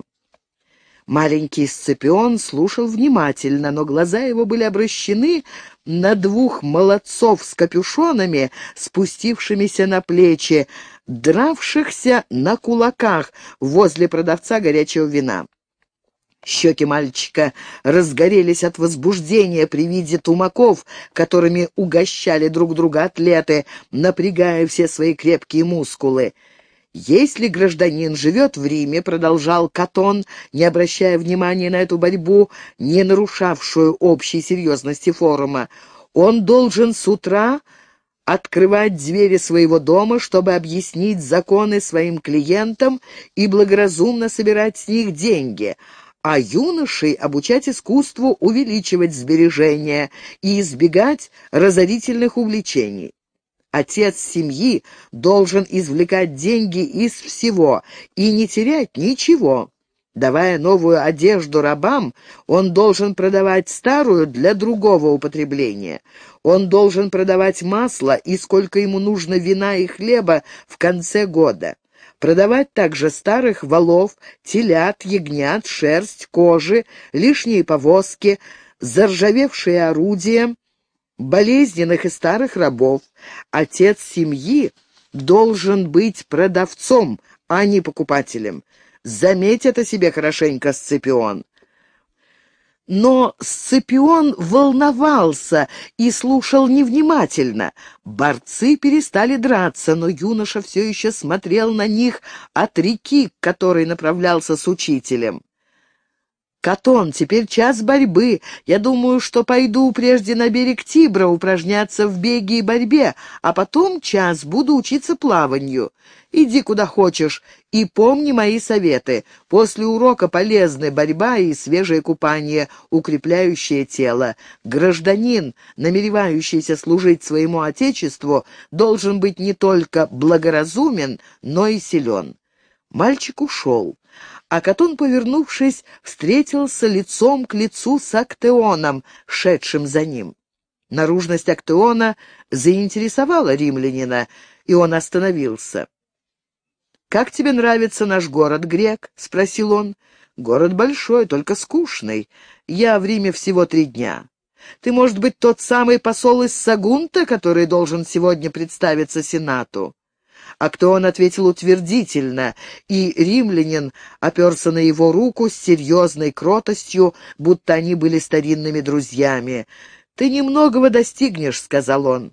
«Наш сенат теперь болен чрезмерной осторожностью. Я не люблю увлечений». Не думаю, чтобы Ганнибал был великим полководцем только потому, что он бросается на такие смелые предприятия, как осада Сагунта. Но, тем не менее, я не могу молчать, видя опасливое отношение Рима к его союзникам. Я желаю употребить все средства для сохранения мира. Я боюсь войны, а между тем война с Карфагеном неминуема. Карфаген и наш город не могут уместиться в одном мешке. Мир тесен для них двоих. Я постоянно повторяю, мы должны разрушить Карфаген, а надо мной смеются. Несколько лет тому назад, во время восстания наемников, мы бы легко могли сокрушить его. Если бы мы послали в Африку несколько легионов, то с помощью восставших нумидийцев и возмутившихся наемников нам ничего бы не стоило разрушить Карфаген. Но нам стало страшно. Рим после победы занялся залечиванием своих ран. Мы боялись поддержать торжествующих солдат, собранных со всех земель, и спасли Карфаген, помогли ему справиться с восставшими. «Теперь другое дело», — сказал Актон с убеждением, — «Сагунт — ваш союзник, и если Ганнибал враждует с ним, то из-за приверженности города Риму. Да, поэтому мы, римляне, и принимаем участие в его судьбе, но все же от Сената я не ожидаю многого. Его гораздо больше заботят пираты Адриатики, грабящие наши берега, и восстание Деметрия Форосского в империи, куда мы собираемся послать войско под начальством консула Люция Эмилия. А Сагунт? Если вы оставите его как он справится с дерзостью Ганнибала, собравшего под своим начальством самые воинственные племена Иберии? Что скажут эти несчастные о верности Рима своим обещаниям? Постарайся убедить Сенат всеми этими доводами. Я вижу в Карфагене единственного врага Рима, но если бы все были как я, мы поняли бы дерзость сына Гамилькара, объявили бы войну Карфагену и прогнали его в его владение. Пусть будет, что будет, мы непобедимы. Италия — плотная масса, и пограничные земли, как часовые, стоящие на страже нашего лагеря. На востоке — империя в части, обращенной к Африке, Сицилия, а на западе — Сардиния, образует пояс в 900 миль, захватывающий большую часть африканских берегов и всю Иберию. Однако он настолько длинен и состоит из стольких различных племен, что разорваться ему нетрудно. Конечно, если бы Рим проиграл даже сто сражений, он все равно остался бы Римом. И одной победы Карфагена недостаточно, чтобы уничтожить его как народ, но все же если бы все думали, как ты, Катон. Если бы Сенат думал, как я, он оставил бы Диметрия Форосского и отправил бы свои легионы в Сагунт. Таким образом, избежали бы на этот раз одной опасности. Кто знает, куда зайдет этот африканский юнец и на что осмелится, если беспрепятственно овладеет городом-союзником Рима. Но мнение мое свободного гражданина, педагога, имеет мало значения. Мальчик этот — сын консула Публия Корнелия Сципиона, и в нем с новой силой возрождаются все добродетели его семьи. Кто знает, может быть, ему суждено остановить движение Ганнибала, положить конец дерзкому могуществу Карфагена, с которым мы вечно враждуем. Они немного побродили по форуму, разговаривая о римских обычаях и горячо споря при сравнении их с афинскими. Строгий римлянин простился с греком, сказав, что ему надо повидаться с несколькими патрициями по своим личным делам, к которым он относился с чрезвычайной добросовестностью. Оставшись один, Актон почувствовал, что он голоден. До часа, когда собирался Сенат, было еще долго, и, утомленный шумным движением на форуме, Актон пошел вдоль подножия Капитолия по улице менее широкой, чем другие, с каменными зданиями, через открытые двери которых можно было видеть относительное благосостояние патрицианских семей, живших в этих домах. Грек вошел в булочную и постучал палкой о каменную конторку, за которой никого не было. Из подобия подвала раздался жалобный голос, и Актон увидел в темной яме жорнов для размалывания пшеницы и запряженного в него человека, раба, приводившего его в движение с чрезвычайным усилием. Раб вышел почти голый, отирая пот, катившийся с лица, и, взяв деньги у грека, подал ему хлеб. Затем он продолжал стоять, с любопытством рассматривая Актеона. «Ты булочник?» — спросил последний. «Нет, я только раб», — ответил он грустно. «Хозяин ушел на форум, чтобы переговорить с хлеботорговцами. Не правда ли ты грек?» И прежде чем Актеон соблаговолил подтвердить это, раб продолжал с грустной гордостью. Не всегда я был рабом, я им стал совсем недавно, а когда я был свободным, моим горячим желанием было поспешить в твою страну. О, Афины, город, где поэты-боги!» И он прочел по-гречески несколько стихов из Прометея Эсхила, изумляя Актеона чистотой своего произношения и выражением, которое умел придать своим словам.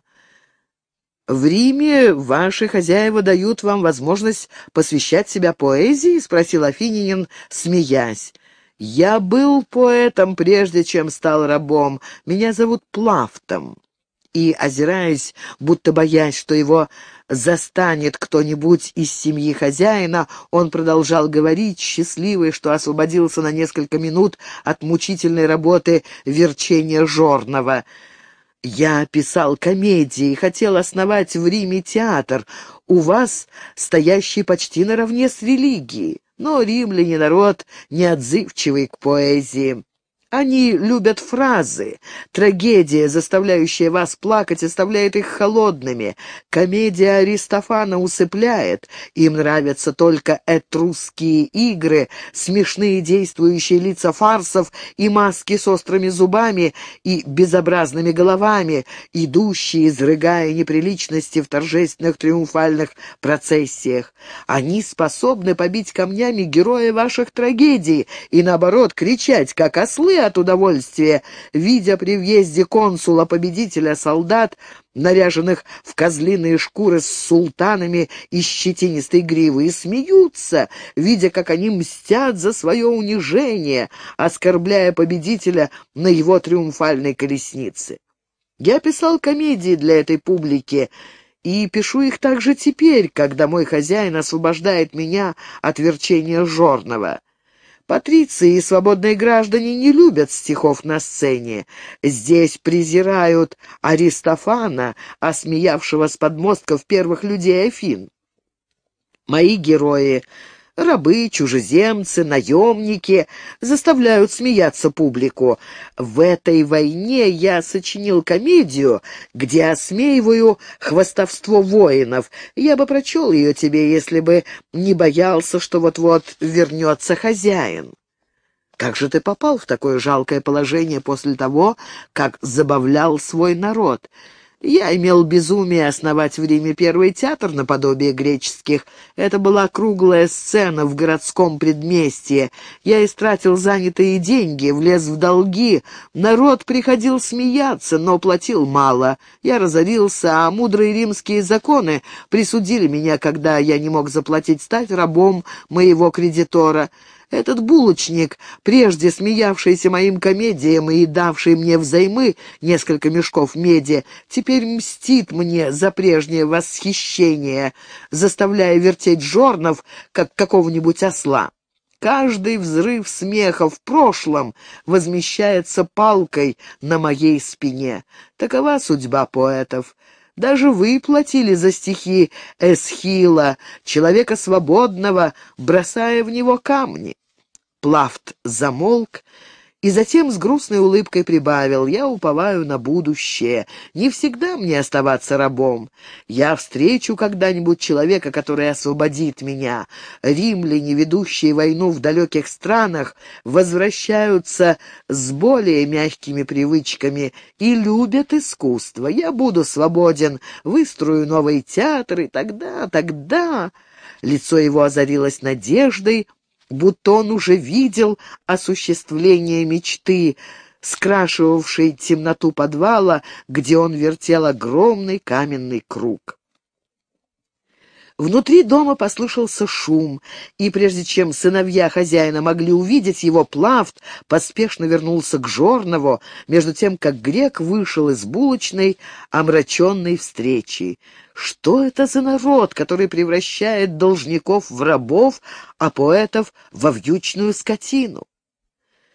Грек съел свой хлеб, гуляя по форуму. Он ожидал часа собрания Сената и, чтобы заполнить время, взошел на вершину Палатинского холма, священного места колыбели Рима.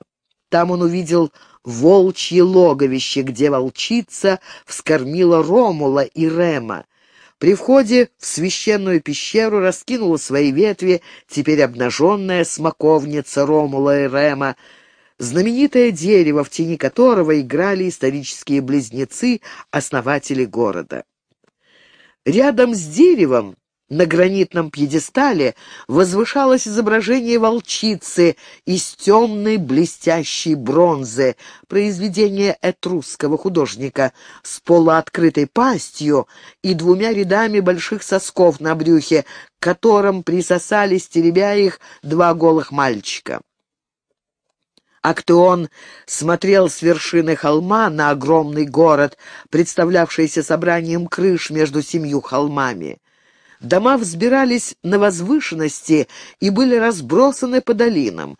Между ними почти рядом с Палатинским холмом возвышался Капитолий, крепость Рима, на отвесной бесплодной Торпейской скале. Грек перешел туда, чтобы осмотреть поближе храм Юпитера Капитолийского, более знаменитого своей славой, чем красотой.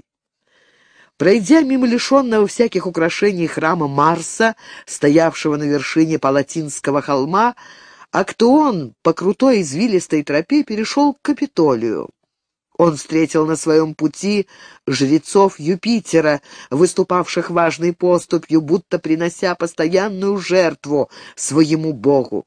Видел мерно выступающих весталок, закутанных в белые покрывала.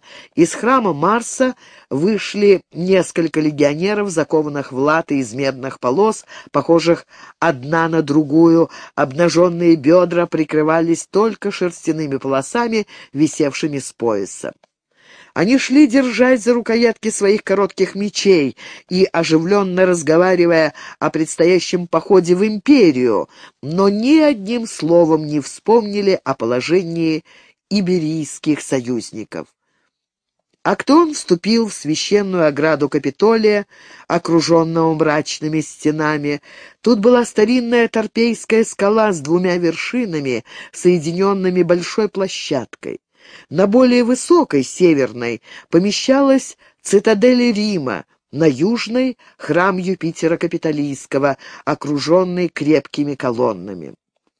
А кто он вошел в цитадель, прославившуюся своей защитой во время нашествия галлов, По краю лужи, среди храмов, примыкавших к твердыне, он увидел священных птиц, гусей, предупредивших своим криком среди ночной тишины о готовящемся нападении галлов. Затем по нижней площадке, делившей холм как бы на две части, а кто он подошел к великому римскому святилищу. Лестница в семь ступеней вела к храму, построенному во времена последнего Тарквиния в честь трех римских божеств — Юпитера, Юноны и Минервы. Здание состояло из трех отделений, параллельных трем открытым дверям на одном фронтоне. Среднее отделение было посвящено Юпитеру, оба крайних — двум другим божествам. Фронтон по углам которого возвышалось несколько каменных лошадей грубой работы, поддерживал тройной ряд колонн. По боковым сторонам тянулись два ряда колонн, образуя портик, под тенью которого прохаживались очень старые римляне, обсуждая городские дела.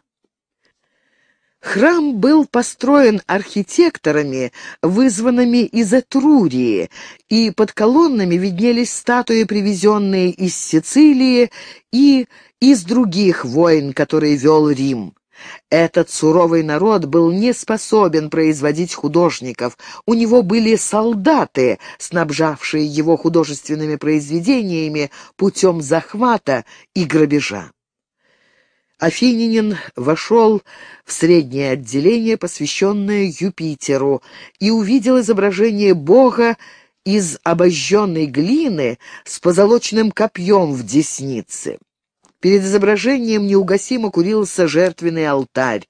На верхушке храма гномон — солнечные часы показывали со своей высоты время всему Риму.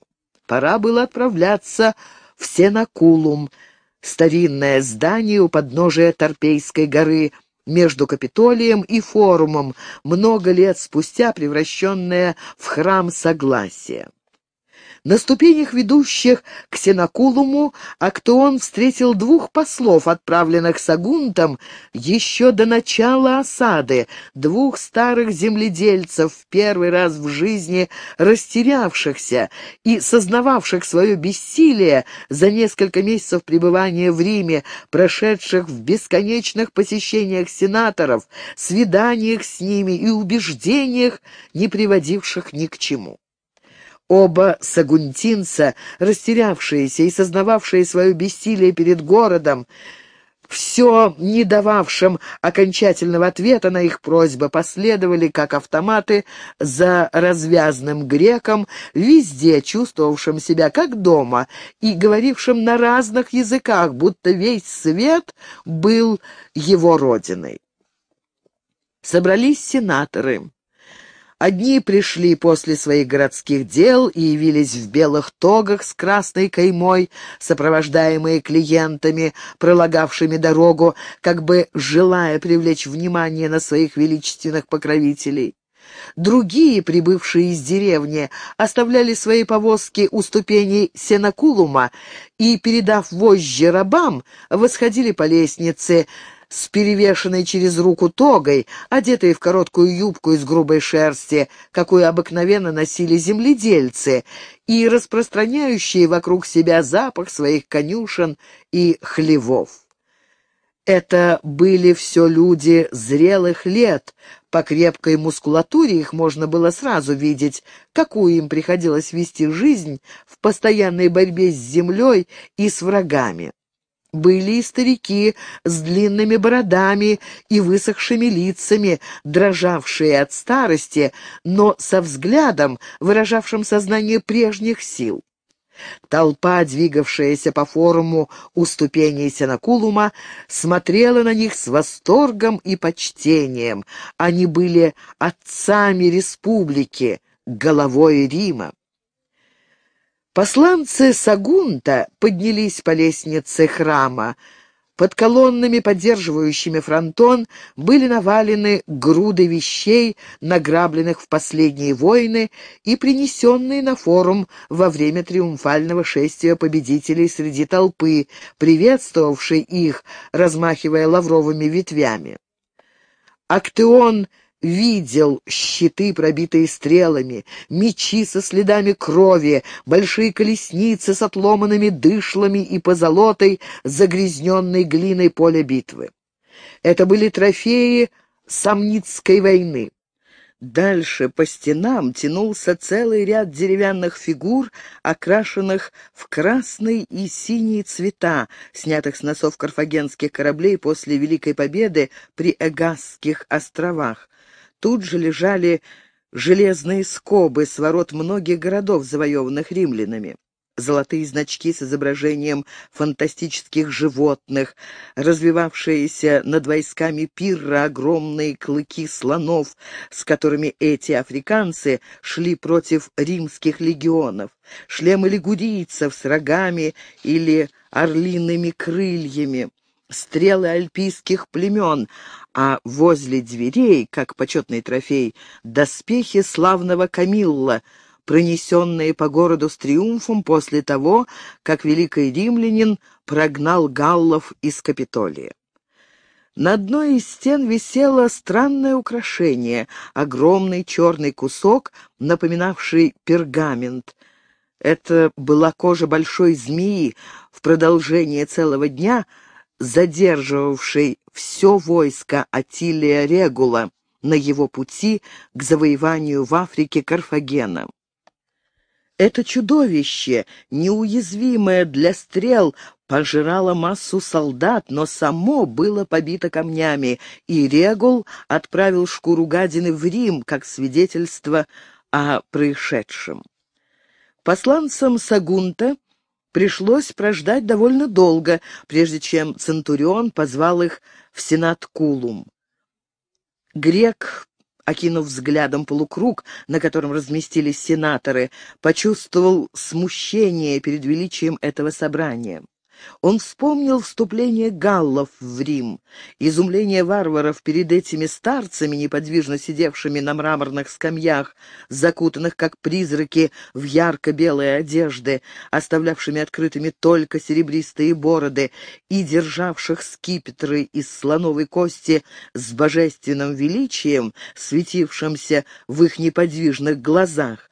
Одни только варвары, опьяненные кровью, могли осмелиться поднять руку на внушительных старцев. Их было больше двухсот. Кое-где между ними виднелись пустые пространства, места сенаторов, которые не могли явиться на собрание, и на белых скамьях, расположенных амфитеатром, белые точки казались снегом на замерзшей земле. Между скамьями полукругом возвышался ряд колонн, поддерживавших купол, через который проникал полумрак, как будто способствовавший сосредоточенному размышлению. Полукруг был огорожен невысокой каменной балюстрадой, и по ту сторону ее собирались именитые граждане, еще не назначенные сенаторами. В центре барьер прерывался квадратным пьедесталом с бронзовой волчицей с близнецами, сосущими ее. На подножье пьедестала виднелись начальные буквы названия высшей правительственной власти Рима СПQР — Сенат всего римского народа.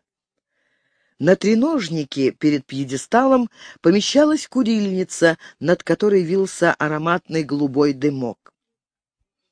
Трое послов сели на мраморные скамьи возле изображения волчицы между тройными рядами белых и неподвижных людей. Некоторые из них опирались подбородком на руку, как бы для того, чтобы внимательнее слушать. Послы могли говорить.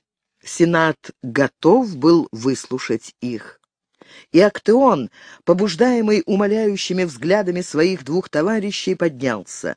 В его душе впечатления сменялись быстро, волнение, вызванное в первую минуту видом величественного собрания, уже улеглось. Он стал говорить медленно, заботясь, как бы не запутаться в извилинах красноречия при объяснении на этом непривычном языке и стараясь придать своим словам убедительность достаточную, чтобы повлиять на представителей Рима. Он описал отчаянное сопротивление Сагунта и его упование на помощь республике, слепую веру в могущество последней, побуждавшую жителей покинуть городские укрепления и победить неприятеля при одном только слухе, что на горизонте показался римский флот. При его отправлении послом в городе уже начинал чувствоваться недостаток в припасах и боевых снарядах, а с тех пор прошло уже много времени, около двух месяцев. Ему пришлось совершить путешествие, полное опасностей и приключений, частью по морю, пользуясь попутно идущими торговыми судами, частью пешком вдоль берегов, а тем временем положение города, вероятно, сделалось отчаянным. Сагунд погибнет, если не поспешить ему на помощь. И какая ответственность падет на Рим, если он бросит покровительствуемый им город после того, как тот навлек на себя гнев Ганнибала именно своей приверженностью к Риму? Какое доверие стали бы питать к дружбе последнего другие народы, узнав о печальном конце Сагунта? Грек замолк, и тяжелое молчание Сената указывало на глубокое впечатление, произведенное его словами.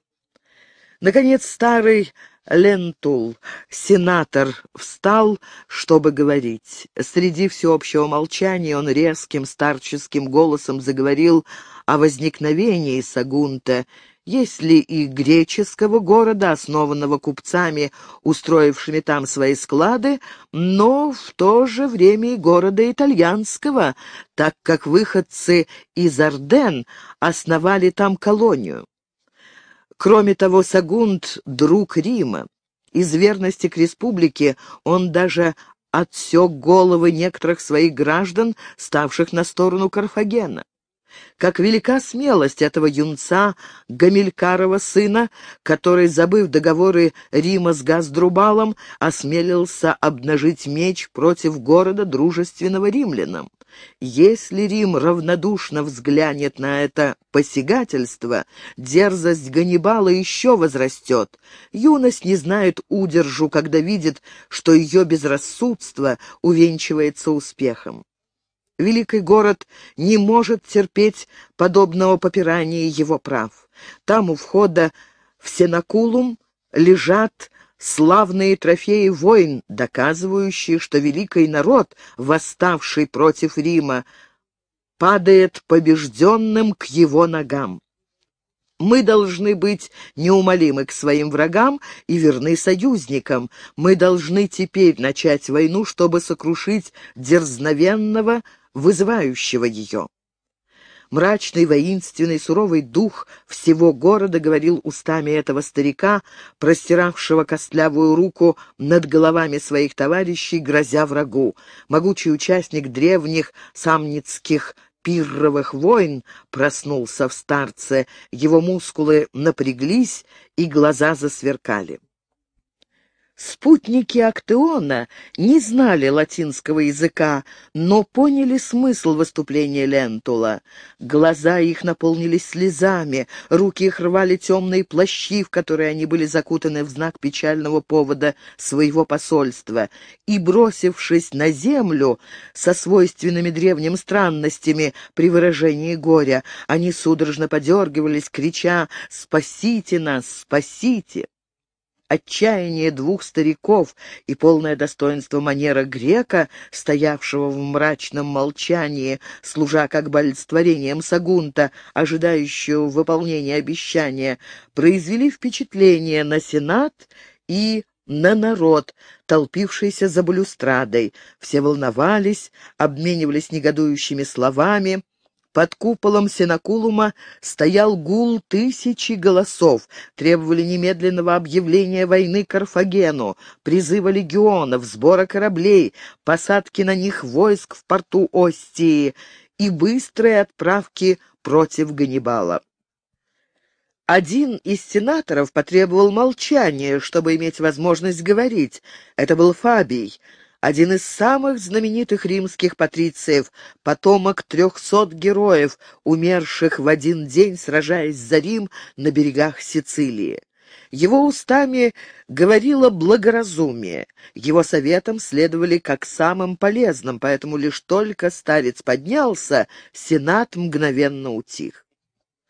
В спокойных словах, выразив сожаление о положении осажденного союзного города, Фабий сказал, что еще неизвестно, вызвал ли Сагунт враждебность Ганнибала против себя или его образ действия тут ни при чем.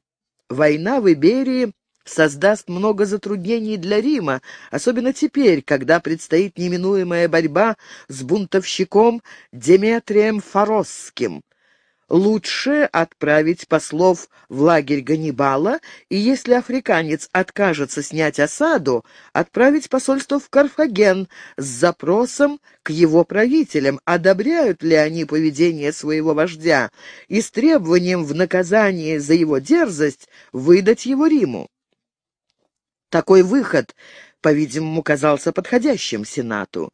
Люди, перед тем казавшиеся воинственными и непримиримыми, склонили головы, как бы выражая одобрение словам Фабия.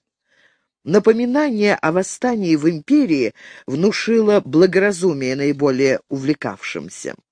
Все стали думать о враге, появившемся почти рядом, на противоположном берегу Адриатики и способном высадиться на латинскую территорию благодаря своему флоту, привычному к морским разбоям. Эгоизм заставлял видеть в этом предприятии первую задачу, важнейшую, чем все клятвы, а желание обмануть самих себя в собственной слабости побуждало придавать особенную важность отправлению в лагерь Ганнибала посольства, непременным следствием которого должно было быть немедленное снятие осады и повинное, принесенное Сенату. Актон принял такое изменение в настроении Сената с видимой досадой. «Я хорошо знаю Ганнибала!» — закричал он. «Он не послушается вас, он станет смеяться над вами. Если вы не пошлете войско, путешествие ваших послов бесполезно».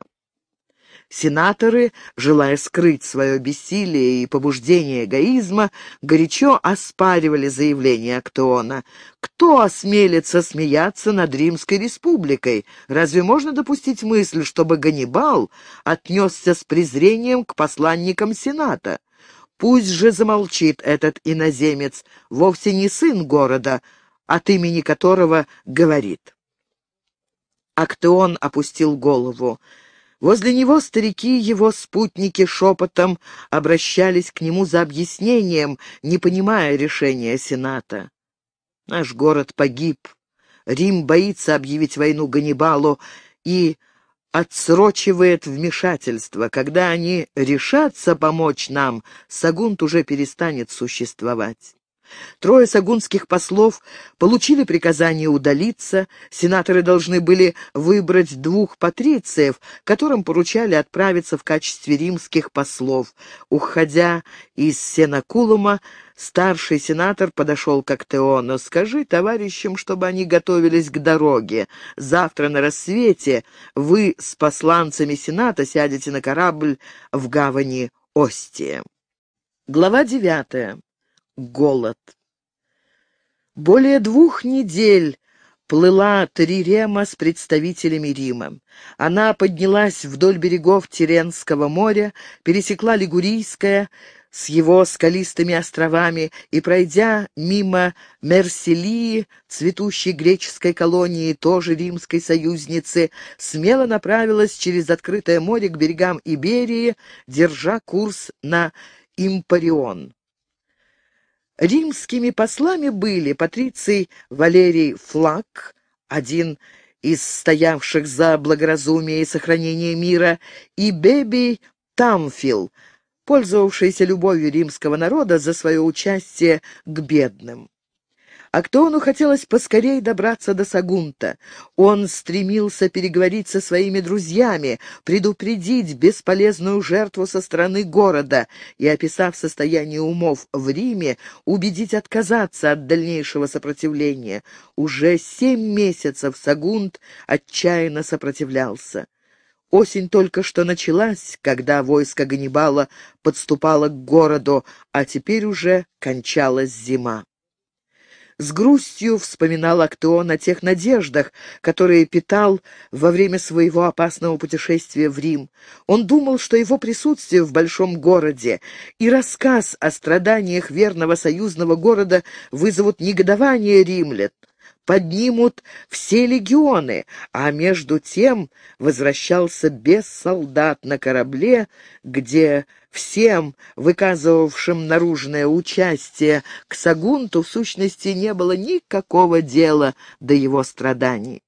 Он вез с собой только громкие пустые слова и волчицу наверху мачты, эмблему торжественности посольства. Что скажет мужественная и легковерная толпа, оборонявшаяся на стенах, грудью защищая брешь, когда он в виде подкрепления явится только с двумя послами? Затем мысли Актеона переходили к соннике, отпустившей его, чтобы он спас город.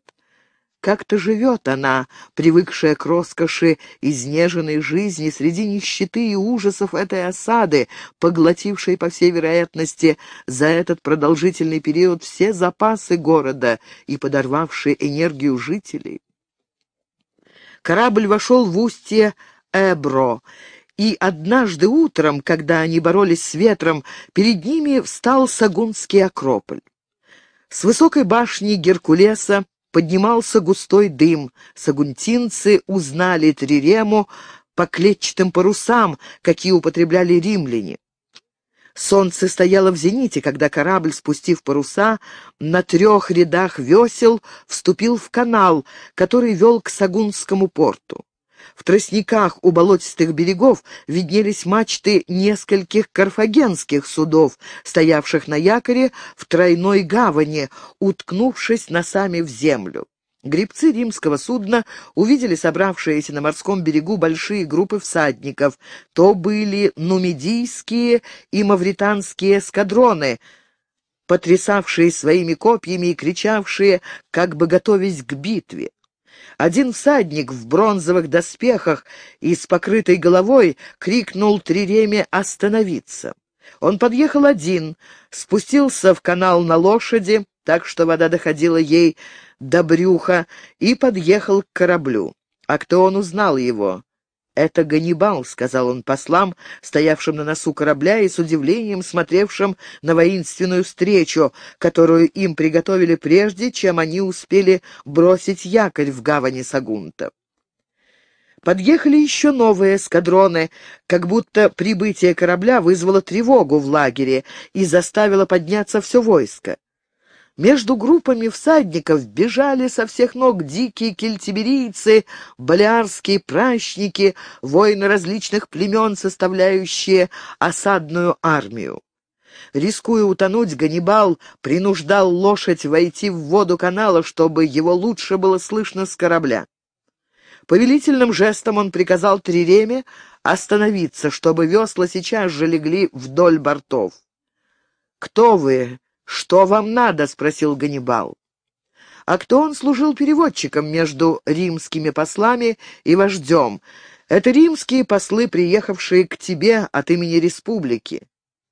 И кто ты, говорящий со мной, твой голос мне знаком. Он пристально стал вглядываться в говорившего, держа руку над глазами, и, наконец, узнал грека. «Это ты, Актеон? Опять ты, беспокойный афинянин. «Я думал, что ты в городе, а ты получил разрешение уйти оттуда, чтобы привести ко мне этих людей? Скажи им, что теперь уже поздно. О чем теперь разговаривать? Вождь, осаждающий крепость, принимает послов только тогда, когда войдет в нее». Грек повторил римлянам слова Ганнибала и перевел их ответы. «Слушай, африканец», — сказал Актеон Ганнибалу, — «римские послы напоминают тебе о дружеских отношениях с Сагунтом. Во имя Сената и римского народа они убеждают тебя снять осаду и пощадить город. Скажи им, что сагунтинцы меня оскорбили и первые объявили войну, пожертвовав моими друзьями, и отказались пощадить моих союзников, турдетанцев. Это неправда, Ганнибал. Грек, повтори римлянам, что я сказал тебе. Послы желают сойти на сушу, они желают говорить с тобой от имени Рима. Лишнее. Они не заставят меня отказаться от моего намерения. Кроме того, осада продолжается долго, войска возбуждены, и ненадежное место для римских послов мой лагерь, где есть совершенно дикие люди из различных стран, повинующиеся только в моем присутствии, ведь несколько часов тому назад опять произошла битва, и они еще не успокоились. Говоря это, он повернул голову в сторону солдат, и они, приняв это движение за приказание или угадав по глазам вождя его тайное желание, начали волноваться, подъезжая к самому каналу, как бы намереваясь устремиться на корабль. Всадники потрясали копьями, еще окрашенными кровью недавней битвы, поднимая щиты, к которым наиболее дикие африканцы прикрепили в виде трофеев волосы нескольких сагунтинцев, павших при последней вылазке. Балиарцы показывали зубы, глупо улыбаясь и, вытащив из мешков глиняные шары, начали пускать их в римское судно. «Видишь?» — сказал Ганнибал, очевидно довольный. «Мне невозможно принять в своем лагере послов. Теперь поздно рассуждать. Сагунту остается только понести наказание за его вину». Римляне, не обращая внимания на вражеские снаряды, стояли, закутавшись в свои тоги, опершись о борт триремы, как бы бросая вызов дерзости дикарей. Старики побледнели от негодования при таком презрительном приеме.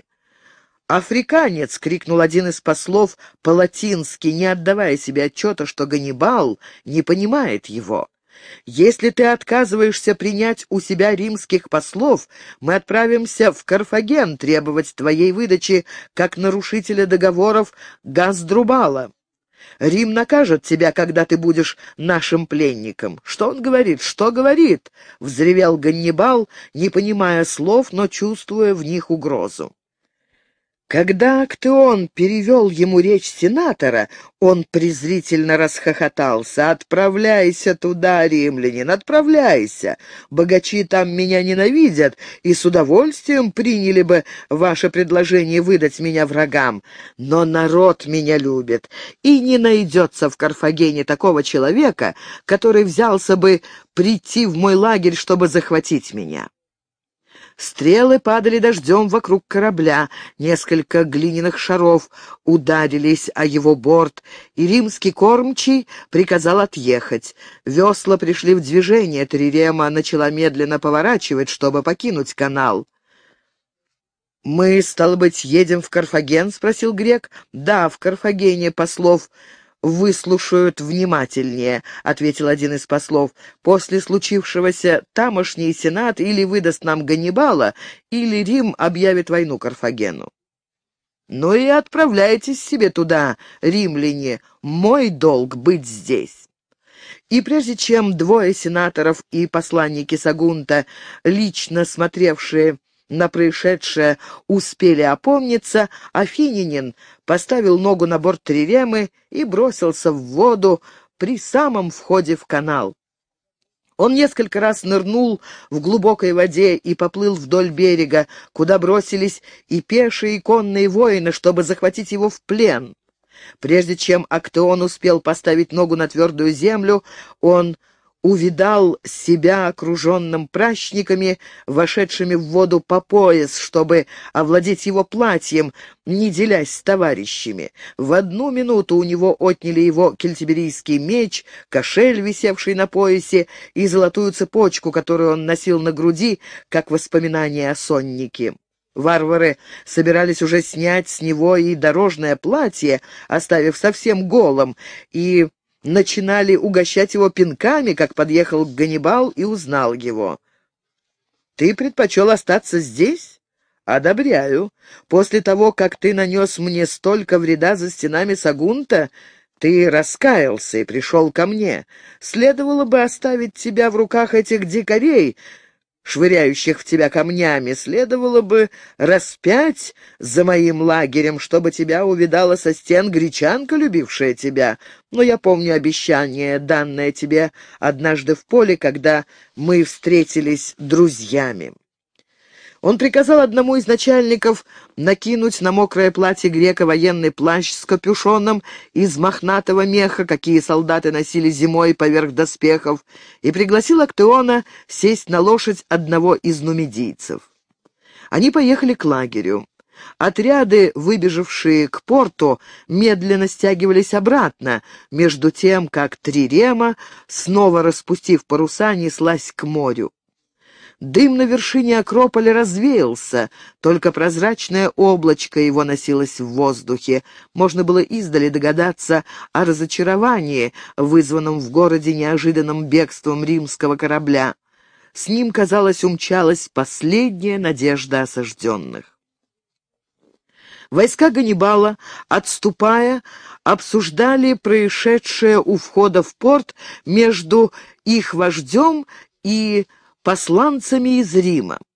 Они не поняли слов, которыми те обменялись, но энергичное выражение лица римлянина при его обращении к Ганнибалу всем им показалось угрозой. Некоторые, воображавшие, что поняли послов, повторяли воображаемую речь, в которой послы грозили от имени Рима вырезать все войско, а Ганнибала распять на кресте.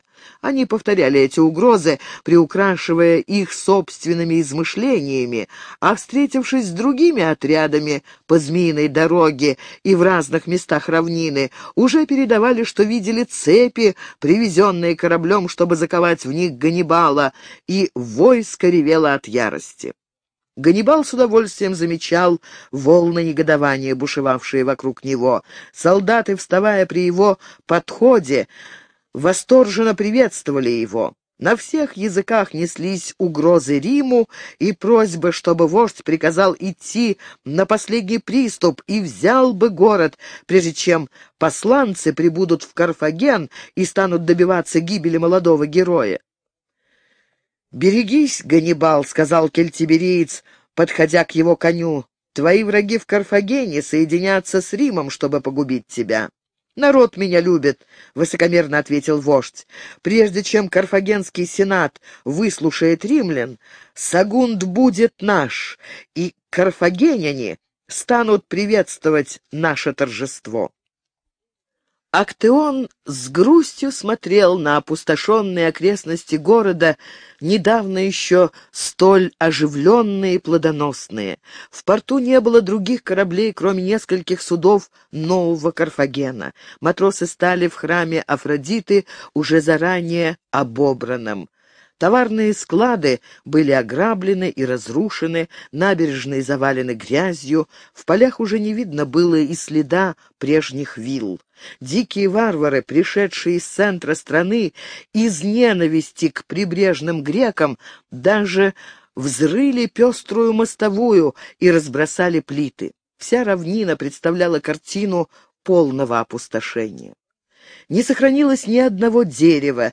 Чтобы бороться с зимними холодами, срубили розы, смоковницы, обширные оливковые плантации, виноградные лозы, даже разрушили дома и деревянные крыши, их шли на поддержку огня костров.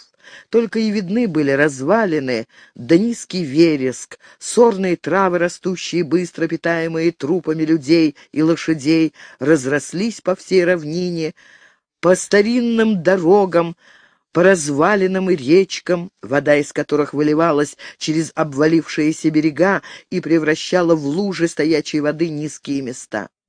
То было дело разрушения постоянно возрастающей армии, состоящей из 180 тысяч человек и многих тысяч лошадей.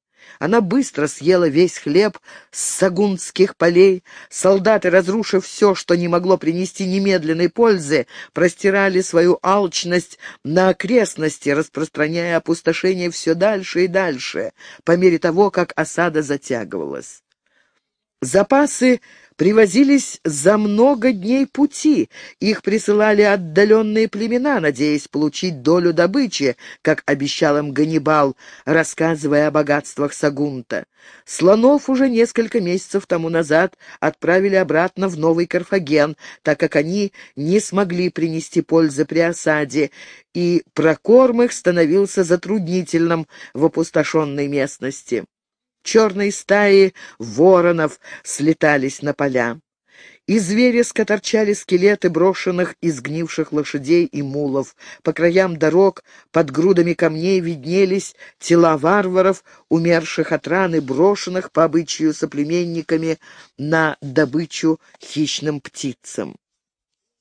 Огромное собрание их заражало всю местность. Тела лежали на открытом воздухе, и пораженные поля, с которых поднималось как бы дыхание смерти, распространяли по всей равнине от гор до моря удушливый смрад, пропитанный запахом разлагающегося мяса. А кто он, приехавший издалека, заметил этот тяжелый запах, идущий с равнины, и с грустью подумал об осажденных.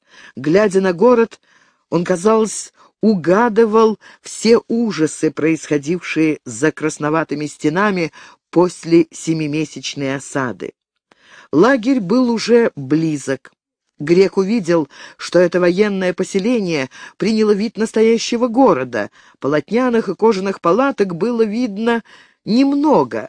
Зима, уже подходившая к концу, принуждала осаждающих выстроить каменные лачуги с крышами из ветвей и деревянные бараки, имевшие вид башен и служившие прикрытием для проходов между домами. Ганнибал, как бы угадывая мысли грека, самодовольно улыбался, глядя на разрушение, произведенное его армией вокруг города. «Ты находишь большую перемену здесь, Актеон, не правда ли?» Вижу, что твои войска не сидели, сложа руки, пока ты уходил наказывать возмутившихся кельтиберийцев. Марбахал — начальник моей конницы, прекрасный помощник. Когда я вернулся, он сообщил мне, что две сагунских стены разрушены, и часть города в наших руках. Видишь ты это возвышение вокруг Акрополя, внутри ограды? Оно теперь наше, стенобитные машины и до сих пор делающие свое дело устремились на Сагунт, и он теперь почти вошел в свои старые границы. Он уже не думает защищаться. Теперь у него вся надежда только на помощь Рима. Упрямцы в третий раз выстроили линию стены, и таким образом им становится все теснее. Скоро у них останется один форум, где я перебью оставшихся в живых. О, гордый непокорный народ! Ты будешь моим рабом. Африканец переменил разговор, открывая свои мысли бывшему товарищу. «Наконец ты прозрел и пойдешь за мной. Ты с радостью последуешь за мной. Ты, благодаря мне, принял участие в осуществлении планов, о которых я однажды на рассвете говорил в этих же полях. Последовав за Ганнибалом, ты со временем станешь царем, как Птоломей, последовавший за Александром. Ты решился?» А кто он помолчал минуту, прежде чем возразить, и Ганнибал прочел в его взгляде нерешительность, желание обмануть его.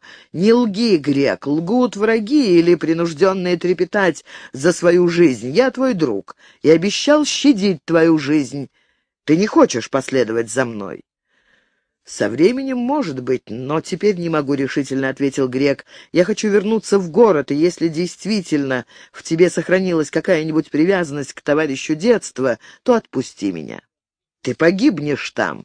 Не жди сострадания, если мы ворвемся через брешь. Я умру», — просто сказал Афининин. Но там есть люди, принявшие меня как соотечественника, когда я голодный скитался по свету. Там есть женщина, оказавшая мне участие, когда я был нищий, отдавая мне и любовь свою, и богатство. Они послали меня в Рим, чтобы я принес им слово надежды, и я во что бы то ни стало должен вернуться, хотя бы для того, чтобы увеличить их горе и страдания. Что тебе стоит отпустить меня? Все равно можешь убить завтра. В Сагунте станет одним телом больше, там ведь, вероятно, уже свирепствует голод. Когда я скажу им, как обстоит дело, когда они увидят меня, возвратившегося без подкрепления, они падут духом и сдадут тебе город. Пропусти меня, Ганнибал. Таким образом, я буду невольно помогать осуществлению твоих планов. Ганнибал взглянул на него мрачно, безумный. Никогда я не думал, чтобы Афининин был способен на такое самопожертвование. Вы так лживы, так легкомысленны, так коварны, когда дело идет об удовлетворении вашего эгоизма. Ты первый грек, которого я вижу верным городу, усыновившему его.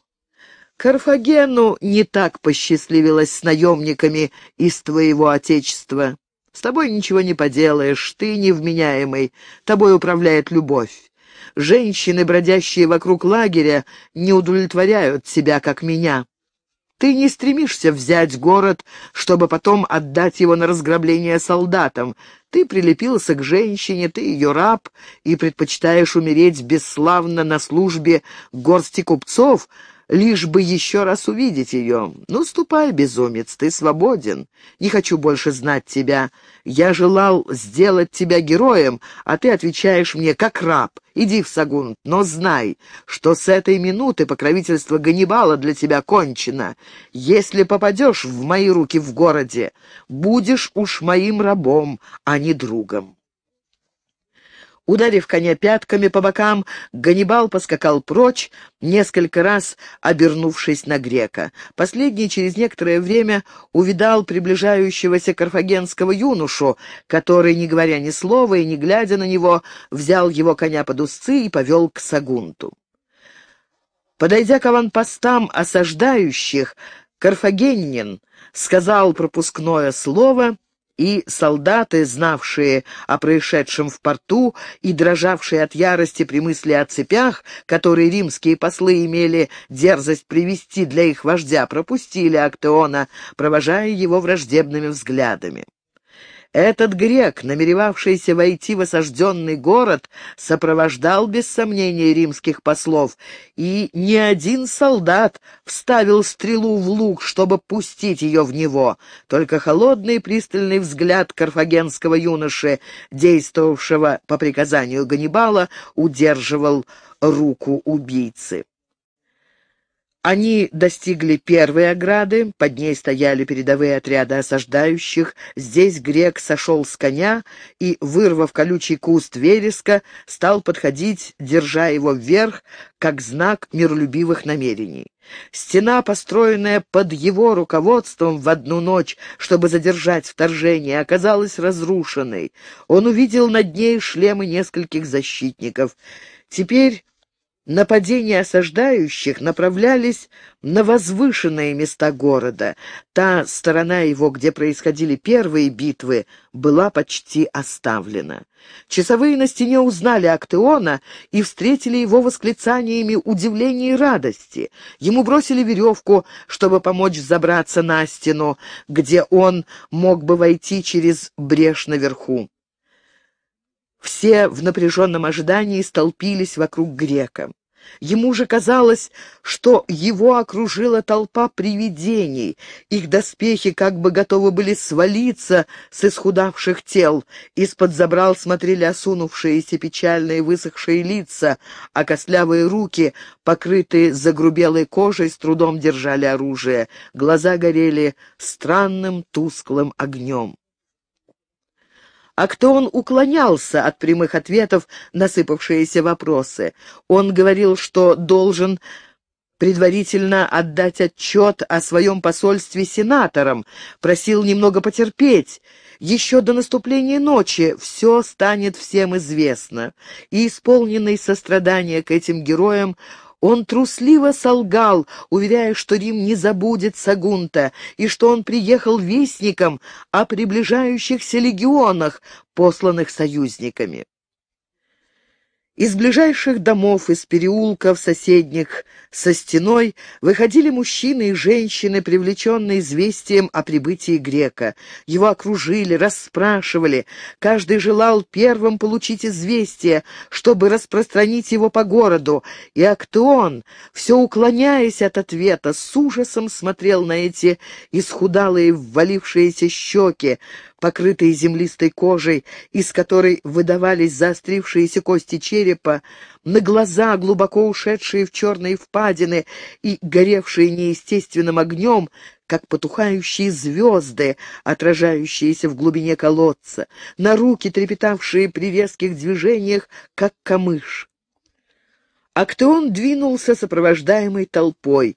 Впереди него бежали странные дети, совершенно голые, с кожей, которая, казалось, готова была треснуть на обозначившихся ребрах, с неимоверно большой головой на исхудалых шеях.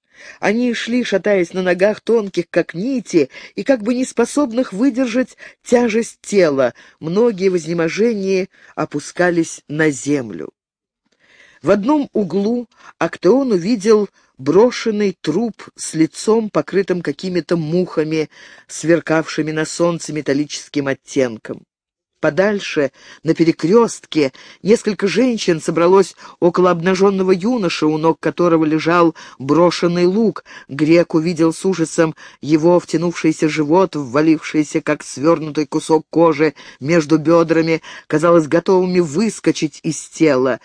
Это была мумия, у которой искра жизни сохранилась только в глазах и запекшихся губах, судорожно открывавшихся, как бы стараясь поймать воздух. На пути новые люди не присоединялись к шествию. Во многих домах, несмотря на шум проходившей толпы, двери не отворялись, и Актеон сравнивал это запустение с тем оживлением, которое господствовало на улице в первые дни осады.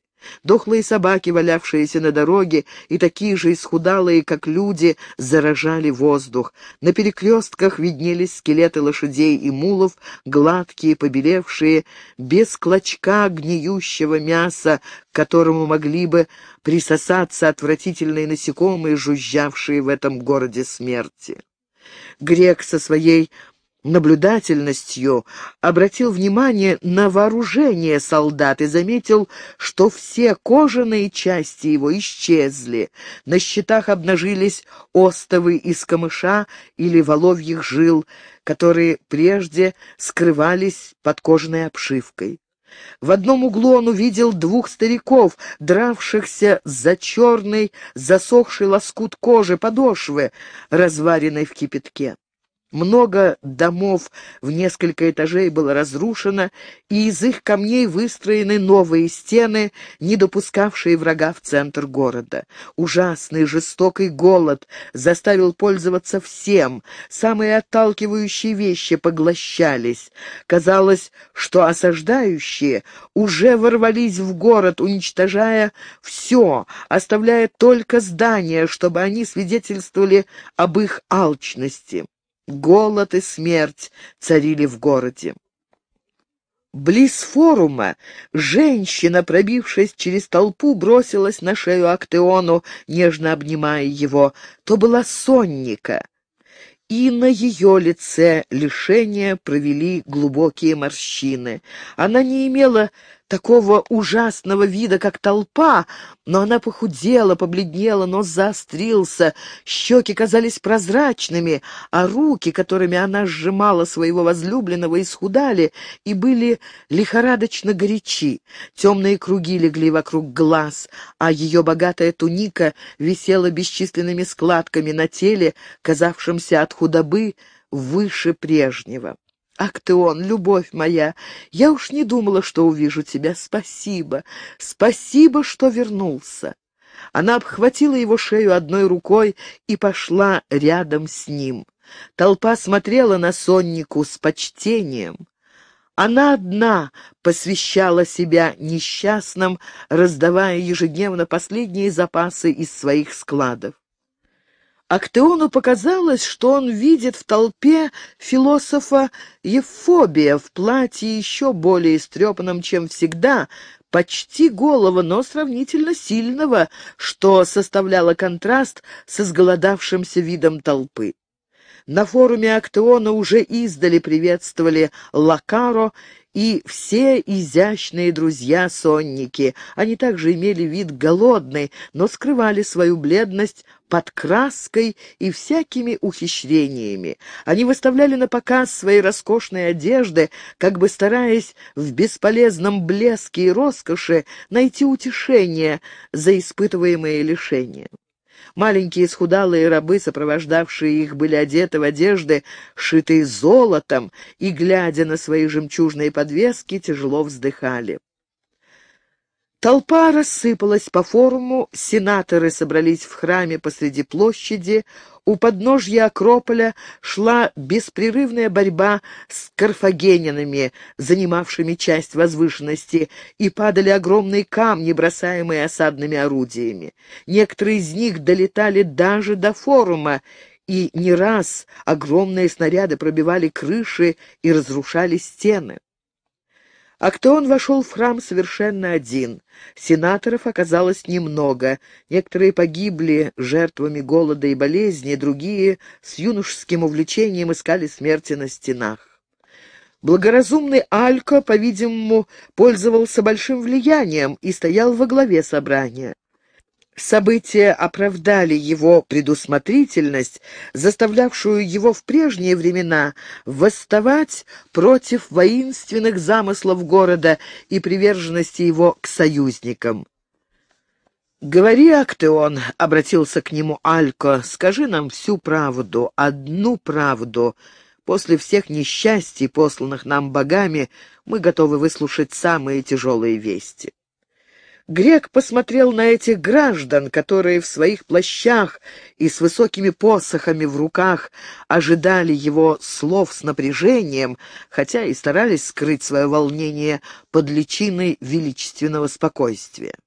Он рассказал о своем свидании с римским сенатом, об осторожности последнего, побудившей его сделать шаг к примирению, о прибытии посланников в Сагунт, о приеме, оказанном им Ганнибалом, и об отправлении послов в Карфаген, чтобы добиться наказания вождя и освобождения Сагунта. Под влиянием этого грустного рассказа спокойствие сенаторов нарушилось. Некоторые наиболее несдержанные вскочили на ноги, раздирая свои плащи и оглашая воздух печальными возгласами. Другие, узнав, что Рим не пришлет своих легионов, в отчаянии били себя в лоб кулаками и рычали от бешенства. Самые старые, не теряя своего величия, плакали, и слезы катились по исхудалым щекам, теряясь в белоснежных бородах. Они бросили нас. Когда придет помощь, будет уже поздно. Сагунд погибнет прежде, чем римляне доплывут до Карфагена. Долгое время продолжалось отчаяние собрания. Многие из сенаторов, не будучи в состоянии встать от слабости, молили богов послать им смерть, прежде чем они увидят гибель своего народа. Казалось, будто Ганнибал уже стоял в дверях храма. «Успокойтесь, сенаторы», — обратился к ним Алько. «Вспомните, что за этими стенами собрался весь сагунский народ. Если он увидит ваше горе, он падет духом, и еще сегодня мы станем рабами Ганнибала». Спокойствие медленно возвращалось к старейшинам, и водворилась тишина. Все ожидали, что посоветуют Алька и Пруденций. И они заговорили. Ведь еще нечего думать о немедленной сдаче города, не правда ли? Нечего, нечего, послышались негодующие голоса всего собрания. Поэтому, чтобы поддержать мужество, чтобы продолжить защиту еще на несколько дней, надо обманывать, внушать призрачную надежду сагунтинцам. Запасы истощены, защищающие город на стенах с оружием в руках доедают последних лошадей, еще бывших в городе. Народ же гибнет от голода. Каждую ночь подбирают сотни трупов и переносят в Акрополь из боязни, что их съедят бродячие собаки, мучимые также голодом и превратившиеся вследствие того в свирепых, диких животных, нападающих даже на живых. Ходят слухи, что несколько иностранцев, живших в городе вместе с рабами и наемниками, собираются ночью у стен и питаются трупами убитых. Воды в городских цистернах осталось мало, ее приходилось брать с самого дна, где она уже смешана с глиной, но, несмотря на все это, в Сагунте никто не говорил о сдаче, а, напротив, о продолжении защиты. Все знают, что их ожидает в случае, если они попадут в руки Ганнибала. «Я говорил с ним», — сказал Актеон, — «он неумолим. Если он вступит в Сагунт, мы все превратимся в его рабов». По собранию пробежал ропот негодования. «Лучше смерть!» — кричали сенаторы. И они быстро сговорились о том, что надо сказать народу. Все поклялись богами скрывать истину. Они хотели продолжать мучения в надежде, что помощь Рима прибудет вовремя, и, приняв такой вид, чтобы никто не догадывался об их отчаянии, сенаторы вышли из храма. В народе быстро пустили весть, что послы отправились в Карфаген, чтобы не терять времени в лагере и хлопотать о наказании Ганнибала. С минуты на минуту должны прибыть легионы, посланные Римом для поддержки сагунтинцев. Народ принял это известие довольно холодно. Бедствие притупило его способность восторгаться. Кроме того, уже сколько раз пытались ободрить его надеждой на римлян. Теперь люди изверились и уже не ожидали прибытия флота. А кто он вмешался в народ, отыскивая соннику, он увидел ее окруженную Лакаро и известной сагунской молодежью. Тут же и Эфобий улыбался ей, однако не подходил близко. «Боги руководили тобой в твоем путешествии, Актеон», — сказал паразит. «У тебя вид лучше, чем у нас, оставшихся в городе. Видно, что ты хорошо питался. Но и ты, философ, не так исхудал, как другие», — ответил грек. «Кто тебя поддерживает?» «Моя беднота. Я так привык к голодовке во время изобилия, что теперь нужды почти не замечаю. Вот выгода быть философом нищим». «Не верь этому чудовищу с отвращением», — сказал Лакаро. «Он такой же варвар, как кельтиберийцы. Он обедает каждый день». Зато его следовало бы распять среди форума в назидании другим. Видели, как он бродил вместе с рабами около стен, отыскивая мертвые тела? Грек с отвращением отошел от паразита. «Не верим, Актеон», — убеждал его Эфобий. «Им завидно» на мою нищенскую умеренность, а прежде они меня за нее ругали. Голод мой старый товарищ и меня щадит. Все разошлись и Актеон последовал за Сонникой в ее дом. Красавица жила почти одна, многие из ее слуг умерли на стенах, другие погибли на улицах жертвами болезней, некоторые, не будучи в состоянии переносить мучения голода, бежали к неприятелю. Два старых раба стояли в углу между нагроможденными сундуками и богатой мебелью. Большие склады в нижнем этаже стояли пустые. Там поселилось несколько детей, проводивших целые часы в терпеливом ожидании, не выглянет ли из норы какая-нибудь крыса, чтобы броситься на нее, как на драгоценную добычу. «А Ранто?» — спросил Актеон у своей возлюбленной. «Бедняжка, я изредка вижу ее, она не хочет жить здесь». Когда я ради ее безопасности силой приказала удержать ее здесь, она убежала. Она сошла с ума, увидев труп своего возлюбленного.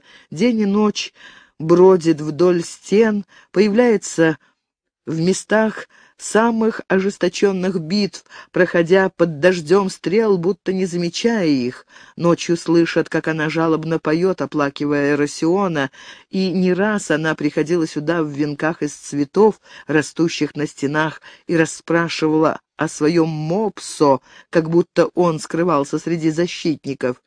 Народ думает, что она в сношениях с богами, смотрит на нее с почтением и расспрашивает ее о судьбе Сагунта. Влюбленные провели ночь среди нагроможденных сокровищ склада, предаваясь в мягких кроватях страстным объятиям, как будто они еще жили в богатом заброшенном доме и только что окончили один из ночных перов, скандализировавших старых сагунтинцев. Прошло еще несколько дней. Бедствие в городе все усиливалось, но граждане, верные своему решению, продолжали защищать его с пустыми желудками. Осаждающие не возобновляли нападения. Ганнибал, без сомнения, догадываясь о состоянии города и желая избавить свое войско от кровопролития, выжидал, пока голод и болезни не довершат его торжества.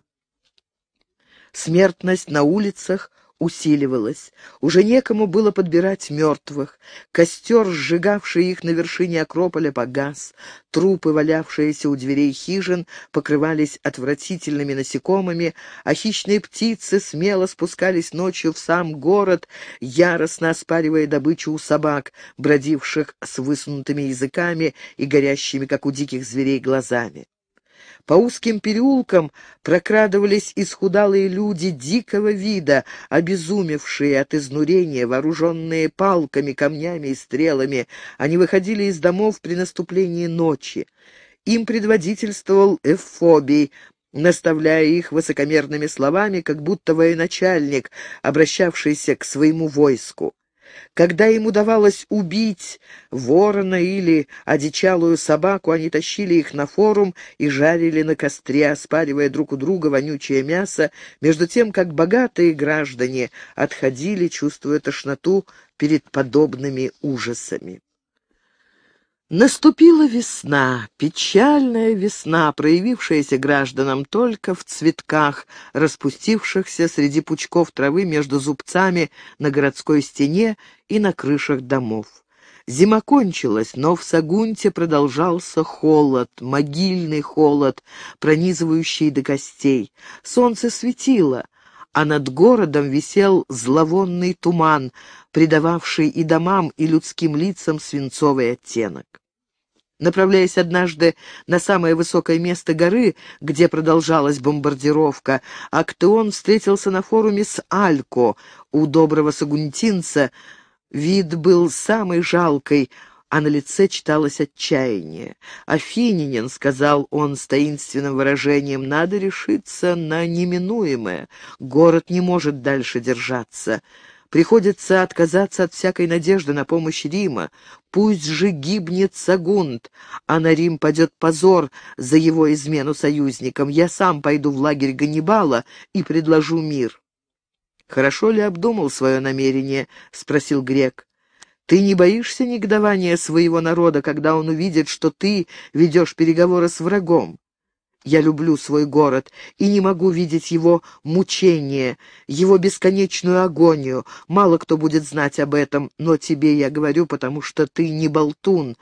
Дела наши гораздо хуже, чем народ это себе воображает. Уже нет ни куска мяса для защитников стен. Сегодня утром из цистерн вынули одну глину, воды уже нет больше. Еще несколько дней сопротивления, и нам придется есть трупы, как тем отверженным, что питаются по ночам. Мы дойдем до того, что станем убивать детей, чтобы напиться их кровью. А кто он молчал минуту, проводя по лбу рукой, страдальческим жестом, как бы стараясь отогнать ужасные воспоминания — «Никто лучше старейшин не знает всего происходящего в городе», — продолжал Алько. «Боги должны содрогаться от ужаса, видя, что делается в Сагунте, покинутом ими. Слушай и забудь, Актеон». Он понизил голос. Вчера две женщины, обезумев от голода, метали между собой жребий, чьего ребенка съесть. Сенаторы должны закрывать глаза и затыкать уши. Мы не смотрим и не слушаем, потому что наказание только распространит подобные ужасы. Защитники стен жуют кожу своих доспехов, чтобы обмануть голод. Мясо у них отваливается от костей. Они слабеют и падают, как пораженные невидимыми стрелами богов. Подходит конец восьмого месяца осады. Двух третей города уже не существует. Мы боролись до сих пор против неба и людей, чтобы показать, как Сагунт держит клятву. Грек опустил голову, убежденный доводами Алько. «И дух в городе падает, вера угасает», — продолжал сенатор. Все предсказания не сулят нам ничего доброго. Многие видели ночью огненные шары, поднявшиеся над Акрополем и улетевшие к морю, и погрузившиеся в него, как те звезды, которые светлой полосой прорезывают небесную лазурь. Народ думает, что это пенаты, предвидя близкое падение Сагунта, покидают его, чтобы переселиться на ту сторону моря, откуда они прибыли сюда. Вчера вечером бывшие на страже в храме Геркулеса видели, как из гробницы Закинфа выползла змея, шипевшая, как бы раненая. Она была синяя, с золотыми полосами. Это та змея, которая ужалила Закинфа и была причиной основания города вокруг гробницы героя. Она проползла между ног стражей, спустилась вниз и исчезла в равнине, направляясь к морю. Таким образом, нас покидает и священное присмыкающееся, бывшее как бы покровителем Сагунта. «Это все глупости», — сказал грек. «Галлюцинация людей, мучимых голодом. Может быть, что и так. Но послушай женщин, они плачут, горюя о бегстве змеи Закинфа. Они думают, что город остался теперь без защиты, и многие мужчины на стенах упадут духом, узнав о странном исчезновении. Народ уже не находит поддержки в вере. Оба собеседника довольно долго молчали. «Ступай», — сказал наконец грек, — «поговори с Ганнибалом, и да внушат ему боги милосердия. Отчего тебе не пойти со мной? Ты столько видел на своем веку и своим красноречием мог бы помочь мне. Ганнибал знает меня, я отверг его дружбу, и он ненавидит меня. Иди и спаси город. Мой жребий брошен. Ко мне этот африканец не смягчится. Он всем простит, но не мне.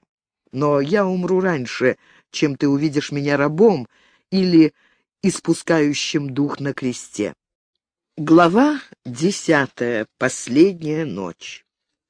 Было уже довольно поздно, когда к вместе с другими, защищавшему высшую точку города, подошла Ранто, выйдя из переулочка у самой стены. Он не встречался с пастушкой после своего возвращения в Сагунт и, увидев ее, ужаснулся перемене, произведенной в ней, перенесенным во время осады горем, помутившим ее рассудок. Она шла в задумчивости, опустив голову, и в ее растрепанных волосах было несколько цветков, с которых при каждом шаге сыпались засохшие лепестки. Через расстегнутую грязную тунику видно было ее тело, все еще, несмотря на худобу, сохранившее красоту и свежесть, так пленявшие грека. Грудь развелась, как будто под влиянием горя эти розовые бутоны созрели, глаза, расширенные безумством, как бы заполняли собой все лицо и светились лихорадочным таинственным светом. Она приближалась медленно, но временами, поднимая голову и взглядывая на людей, стоявших в углублениях стены, и, наконец, остановившись у каменной лестницы, проговорила умоляющим голосом «Эросион! Эросион!» Несмотря на то, что за мантлетами врагов замечалось какое-то движение, как будто осаждающие готовились на новый приступ, Актеон сошел со стены, желая поближе взглянуть на девушку. «Ранто, пастушка, узнаешь ли ты меня?» Он заговорил с ней ласково, взяв ее за руки, но она испугалась и старалась вырваться, но усилие быстро сменилось упадком сил, и, устремив на грека свои огромные глаза, она воскликнула «Ты! Ты!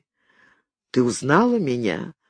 «Да, ты, Афинянин, мой господин, любовник богачки Сонники. Скажи, где Эросион?» Грек не знал, что сказать, но Ранта продолжала говорить, не ожидая ответа. Мне говорили, что он умер. Даже и мне кажется, будто я видела, что он лежит у стены. Только это неправда. Был дурной сон. Умер его отец, стрелок Мопсо, и вот с тех пор он убегает от меня, будто хочет один оплакивать смерть отца. Днем он прячется, я вижу его издали на стене между сражающимися, а когда приду туда искать его, вижу только чужих мужчин, а Эросиона уже нет. Он верен мне только ночью. Тогда он меня отыскивает и приходит ко мне. Только я усядусь у стены и положу голову себе на колени, как он приходит ко мне в темноте. Он опять любит меня. У него колчан у пояса, лук за спиной. От него убегают злые собаки, что бродят во тьме и обнюхивают мне лицо, глядя огненными глазами. Он приходит, садится рядом, улыбается, только все молчит. Я говорю... Мне отвечает его улыбка, а не рот. Я ищу его плечо, чтобы положить свою голову, а он убегает, будто тьма его проглатывает. Что это такое, добрый грек? Если увидишь его, попроси его не прятаться, не убегать. Он так так любит тебя. Сколько раз он рассказывал мне про твою страну. Она замолкла на минуту, будто эти слова разбудили в ее памяти все прошлое, полное воспоминаний — она ухватывалась за них, сопоставляла с большим усилием, что отражалось на ее лице, и медленно вставали в ее памяти картины тех счастливых дней до осады, когда они с Арасионом бродили по полям и находили приют во всех рощах окрестностей Сагунта. Она улыбалась Актеону, глядя на него ласково, и напоминала ему их встречи. Первое знакомство на Змеиной дороге, когда он только что сошел с корабля, бедный и никого не зная в городе. Потом отеческое покровительство, с которым он поздоровался с ними в полях, когда она, взобравшись на вишневое дерево, рвала ягоды, которые потом, смеясь, они вырывали друг у друга губами. И, наконец, та встреча, когда он застал ее совсем голой, когда она служила моделью молодому скульптору. Помнил ли все это грек? Не забыл ли эти дни мира и счастья? Все это сохранилось в памяти Актеона.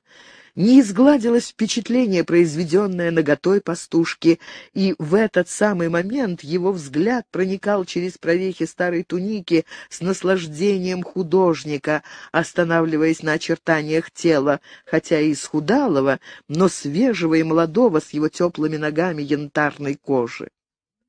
Но, вспомнив все это, Ранто вернулась к своему помешательству. Где Эросион? Видел он его? Он там, наверху, между защитниками, и грек снова удерживал ее за руки, чтобы она не стала подниматься на стену.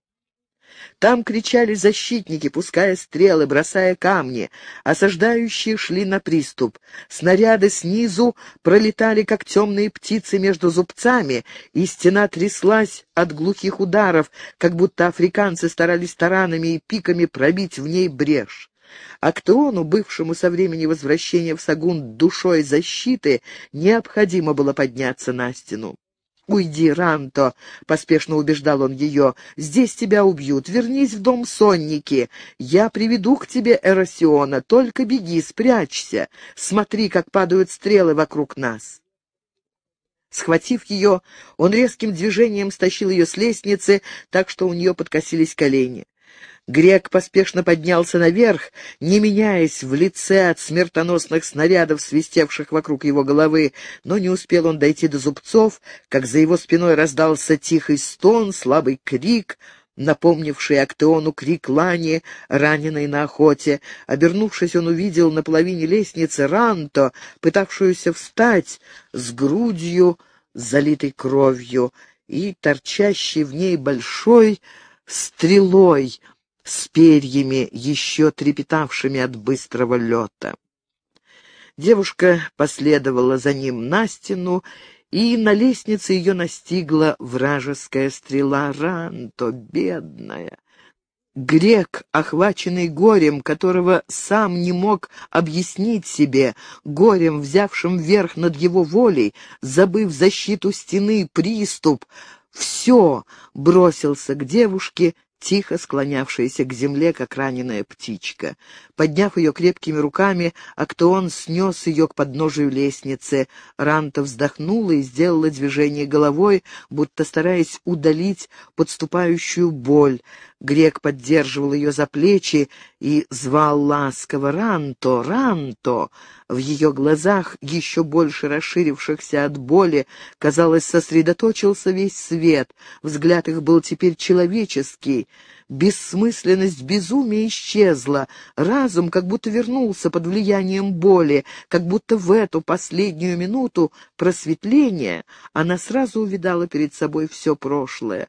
«Ты не умрешь, Ранто», — шептал грек, не отдавая себе отчета в том, что говорил. «Смотри, я вырву у тебя эту стрелу, я отнесу тебя в форум, чтобы тебя вылечили».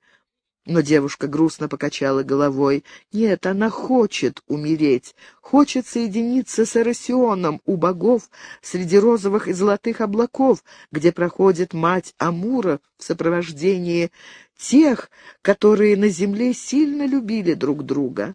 Она бродила как тень среди ужасов осажденного города, думая, что Эросион жив, и ища его повсюду. Но Эросион умер, она теперь вспомнила, что сама видела его труп. Он умер, зачем же ей жить? «Живи для меня!» — воскликнул Актеон, не помня себя от отчаяния. Не видя окружающих, не слыша криков защитников на ближней стене и шагов раздававшихся за его спиной в ближайшем переулочке. «Ранто, пастушка, послушай меня. Теперь я понимаю, почему желал видеть тебя, почему воспоминание о тебе преследовало меня временами в Риме, когда я думал о Сагунте. Живи, и сделайся для Актеона последней весной его существования. Я люблю тебя, Ранто. Ты моя последняя любовь, цветок, распустившийся среди зимы моей ночи. Я люблю тебя, Ранто, люблю с того самого дня, когда увидел тебя обнаженной, как богиня. Живи, и я стану твоим эросионом. Девушка, уже побледневшая с тенью смерти, ложившаяся на ее лицо, улыбнулась, шепча, «А кто он, добрый грек? Благодарю, благодарю!» Ее голова лежала на руках Актеона, тяжело клонилась к земле. Афининин не шевелился, не сводя глаз с тела девушки. Тишина, водворившаяся внезапно на стене, вывела его из тяжелого забытья. Осаждающие прекратили обстрел. Грек поднялся, но несколько раз становился на колени, чтобы поцеловать еще теплый рот пастушки и уже неподвижные, широко раскрывшиеся глаза, в которых, как в тихой воде, отражались яркие лучи заходящего солнца. Поднявшись, он увидел перед собой Соннику, смотревшую на него холодным, ироничным взглядом. «Сонника, ты? Я пришла сказать тебе, чтобы ты шел на форум посланный из вражеского лагеря, подошел к воротам города и хочет говорить со старшинами, народ собран на форуме. Несмотря на всю важность известия, Актеон не двинулся. Холодное обращение сонники озаботило его. «Ты давно здесь?» «Пришла вовремя, чтобы видеть, как ты навеки прощался с моей рабыней». Он помолчал мгновение, но затем, как бы поддаваясь чувству, превышающему его волю, подошел к ней вплотную с блестящими глазами и протянул руки. «Ты любил ее, правда?» — спросила Сонника с горечью. «Да», — ответил Грек тихо, будто стыдясь своего признания. «Теперь я знаю, что любил ее, но и тебя я тоже люблю». Они простояли несколько времени, наклоняясь над этим трупом, разъединявшим их. Между ними как бы встала холодная стена, навеки разлучив их. Актеону было стыдно, что он огорчил женщину, так любившую его. Сонника, казалось, вся погрузилась в свое бесконечное разочарование и смотрела холодными глазами неумолимой Немезиды на труп рабыни. «Уходи отсюда, Актеон», — обратилась она к греку, — «тебя ждут на форуме. Старшины желают твоего присутствия, чтобы ты был посредником с посланным Ганнибалом». Афининин сделал несколько шагов, но затем вернулся, нежно прося милосердия к трупу. «Ее бросят здесь, скоро наступит ночь, и бродячие собаки, бессовестные люди, отыскивающие трупы. Он содрогнулся при мысли, что это человеческое тело, возбуждавшее в нем некогда трепет восторга, будет пожрано зверями. Сонника ответила ему жестом, он может уйти, она останется здесь. И Актеон, покоренный холодным высокомерием своей возлюбленной, быстро удалился, направляясь на форум. Когда он прибыл на площадь, начало темнеть. Посредине площади горел большой костер, который зажигали каждую ночь, чтобы бороться со страшным холодом, господствовавшим в городе, несмотря на весну. Сенаторы занимали свои кресла из слоновой кости у подножия лестницы храма, готовясь принять перед народом посланника Ганнибала. По всему городу разнесся слух об этом, и люди стекались на форум, спеша услышать предложения осаждающих. Новые группы каждую минуту прибывали из всех улочек, выходивших на площадь, где сосредоточилась замиравшая жизнь города. А кто он подошел к старейшинам, он всматривался и не видел Алько. Тот, вероятно, находился еще в лагере осаждающих, и посылка ими парламентера была, очевидно, следствием его свидания с Ганнибалом. Один из сенаторов сообщил, что к городским воротам подошел карфагенинин, невооруженный, с масличной веткой в руке. Он желал говорить с Сенатом от имени осаждающих, и собрание старейшин сочло нужным созвать весь город, чтобы все жители приняли участие в этом последнем заседании. Отдали приказание ввести посланца, и через несколько минут среди расступившейся толпы показалась группа вооруженных людей, окружавших человека с непокрытой головой, безоружного и с ветвью, символом мира в поднятой руке. Когда он проходил мимо костра, свет от огня упал ему прямо в лицо, и по форуму пронесся гул негодования. «Это Лорка, Лорко!» «Неблагодарный изменник!» Многие схватились за мечи, чтобы броситься на посланника. Над головами толпы показались руки с зажатыми в них стрелами, но присутствие сенаторов и грустная улыбка кельтиберийца успокоили вспышку. Кроме того, изнурение давало себя знать, уже не хватало сил для негодования, и все напряженно стали прислушиваться к словам посланника, чтобы узнать, какую судьбу им готовит враг. Алорко подошел и остановился перед старейшими. На обширной площади водворилось глубокое молчание, прерываемое только треском горящего костра. Все взгляды обратились на кельтиберийца. «Алька благоразумного нет среди вас?» — спросил он. Все с изумлением оглянулись. До сих пор никто не заметил отсутствия этого человека, всегда занимавшего первое место при обсуждении общественных дел. Его не было. «И не ищите его», — сказал кельтибериец. «Алька в лагере Ганнибала». Глубоко опечаленный положением города, понимая всю невозможность дальнейшей защиты, он пожертвовал собой ради вас и, рискуя жизнью, несколько часов тому назад добрался до палатки Ганнибала, чтобы со слезами умолять сжалиться над вами. «Почему же он не пришел с тобой?» — спросил один из сенаторов. «Он боится и совестится повторить слова Ганнибала и его условия для сдачи города». Тишина стала еще глубже.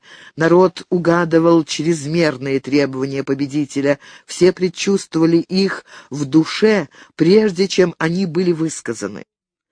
На форум прибыли новые группы людей, даже защитники стен оставили свои посты и, привлеченные происходившим, толпились при выходе из улиц, их бронзовые шлемы и щиты различной формы, круглые, длинные, в виде полумесяца, сверкали при огне костра. А кто он увидел и соннику, перед которой толпа расступилась, когда она направилась к группе изящной молодежи своих поклонников. а Лорка продолжал говорить. «Вам известно, кто я. Сейчас, когда вы узнали меня, раздались угрозы, и руки поднялись на меня. Я понимаю негодование, вызванное моим появлением перед вами. Я не неблагодарный. Но припомните, что я родился в другой земле, и смерть отца поставила меня во главе народа, которому я должен повиноваться, и с союзниками которого я должен идти вместе. Я не забывал никогда гостеприимства, оказанного мне Сагунтом. Это воспоминание я храню, и судьба вашего народа так же близка мне, как судьба моей родины.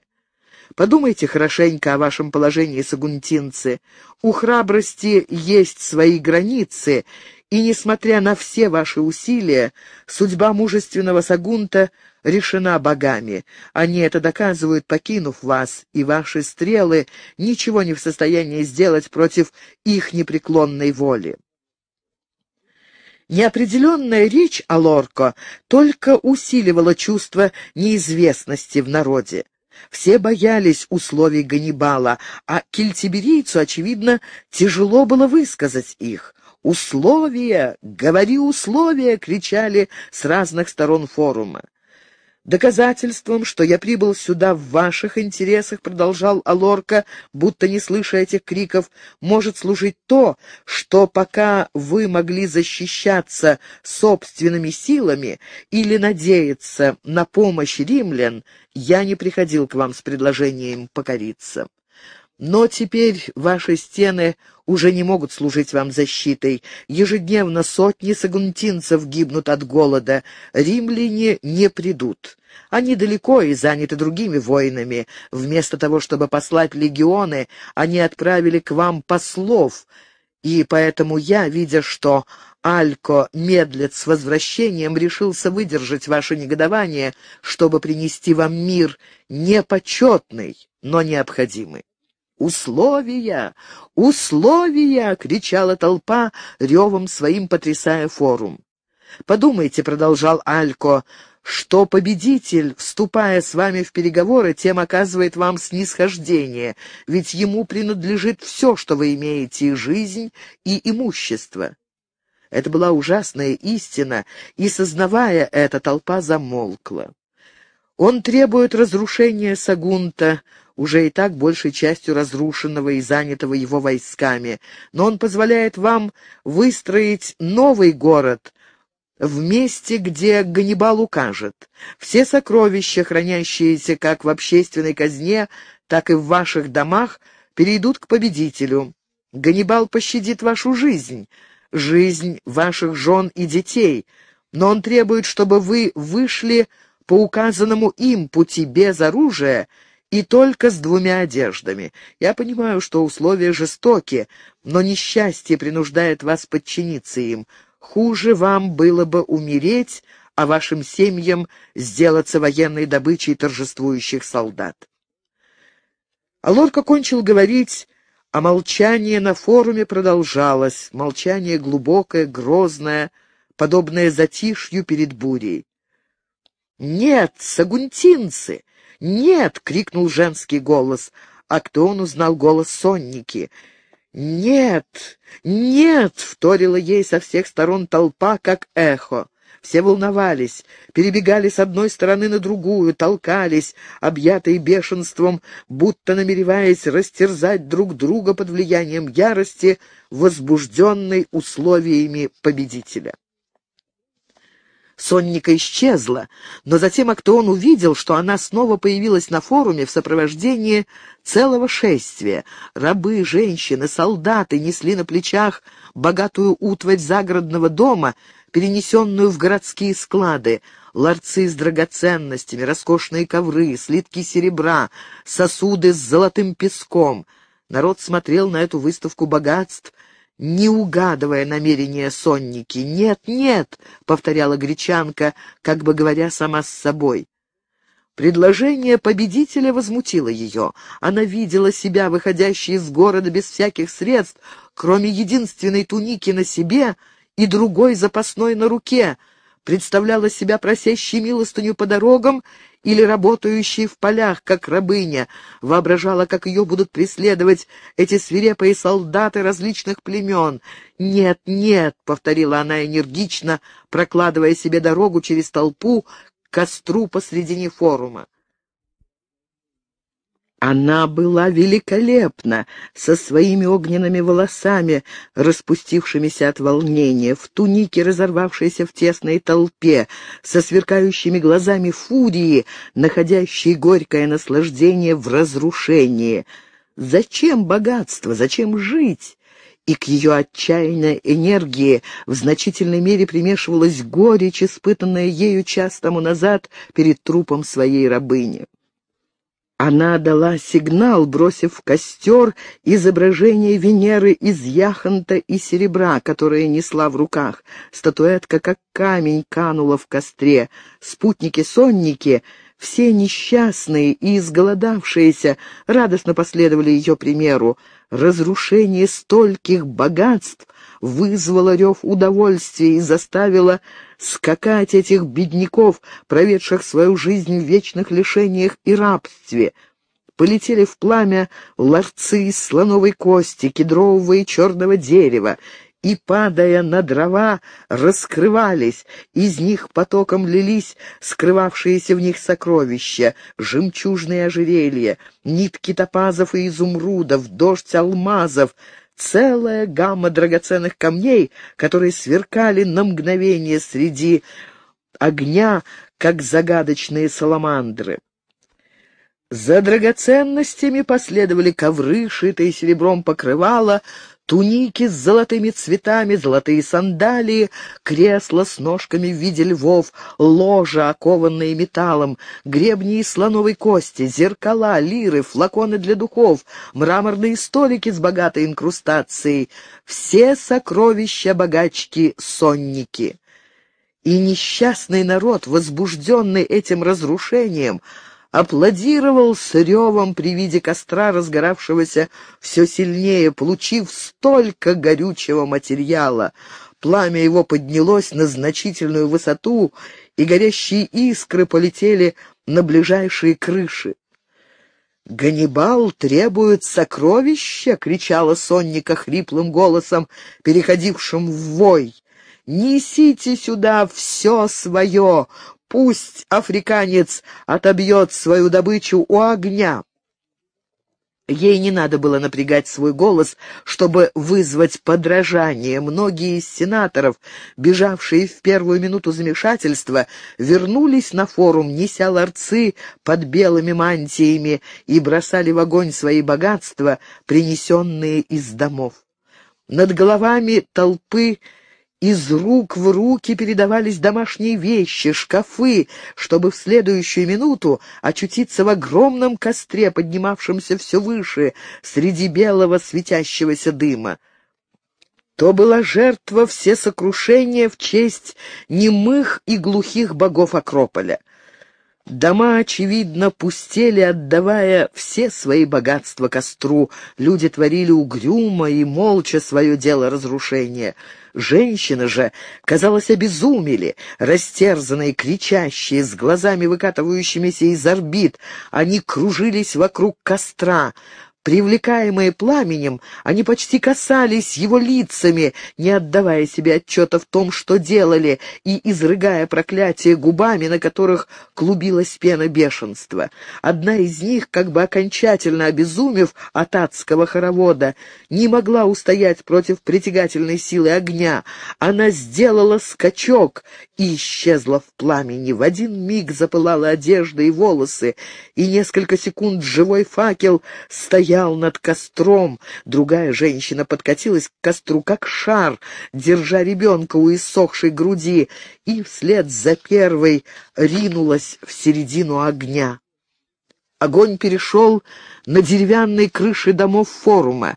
Венец пламени окружил площадь, толпа задыхалась от дыма и жара, и в этой густой, смрадной атмосфере вещи как бы сами собой шли костру над головами толпы. Лакаро и его изящные друзья заговорили о смерти.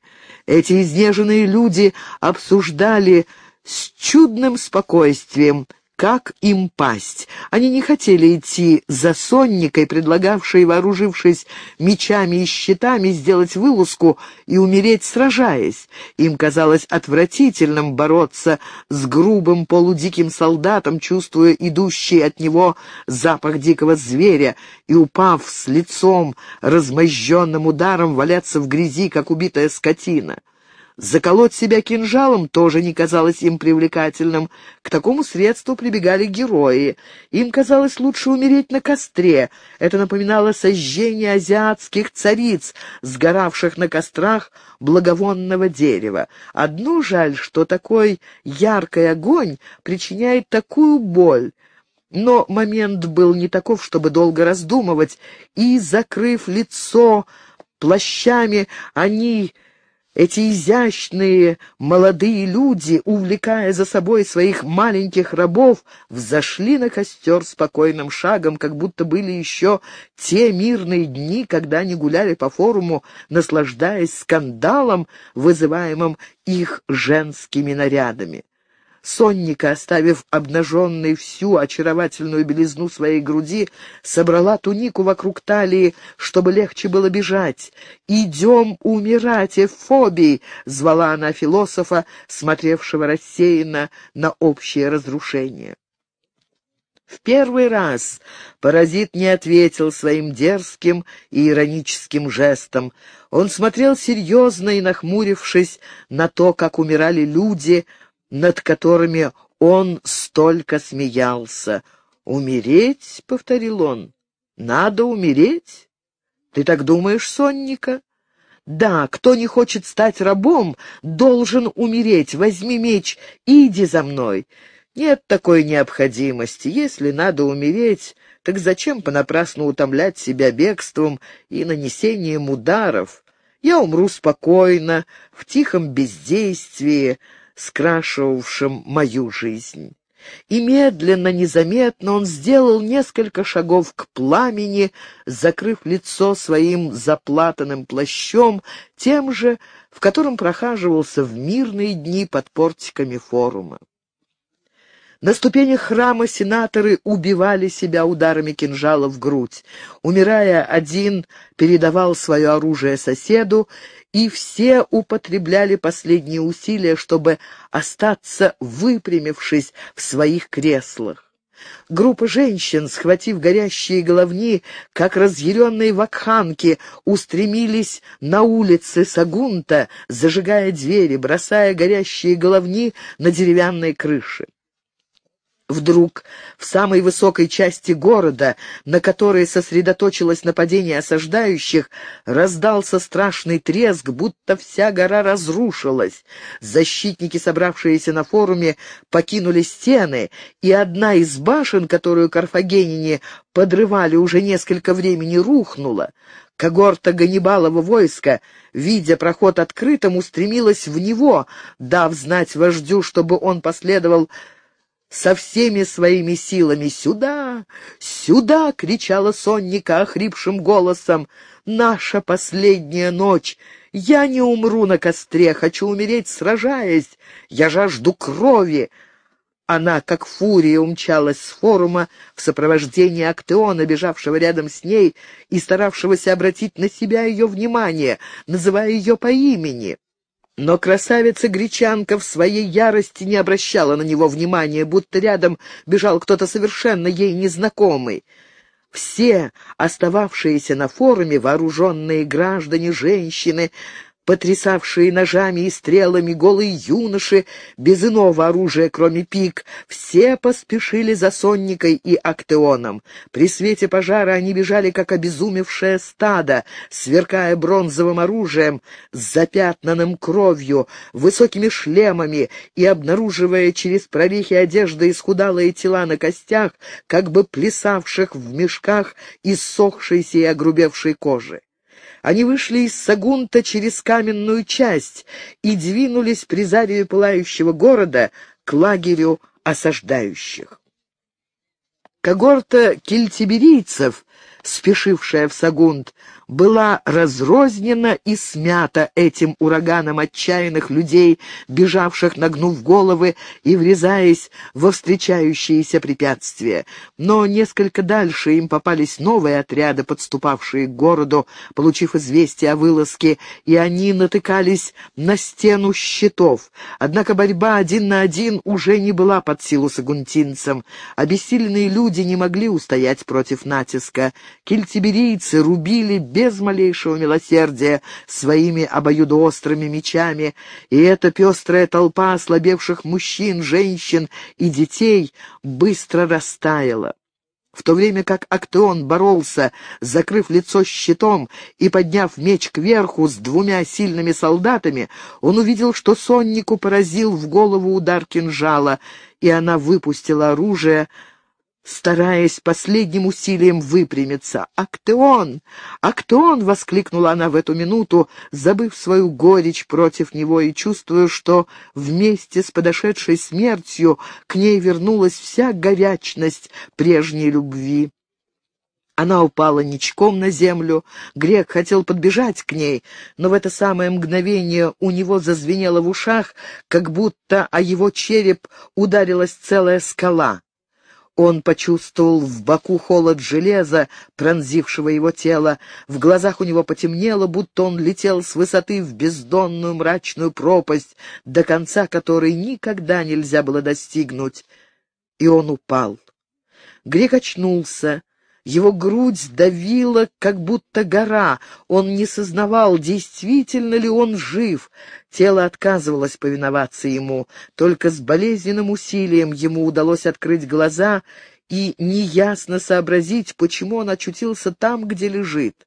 Наконец он понял, что гора, давившая ему грудь, была телом огромного солдата, и он вспомнил, что в ту самую минуту, как он почувствовал, что летит в таинственную темноту, он всадил меч в тело этого воина. Он огляделся.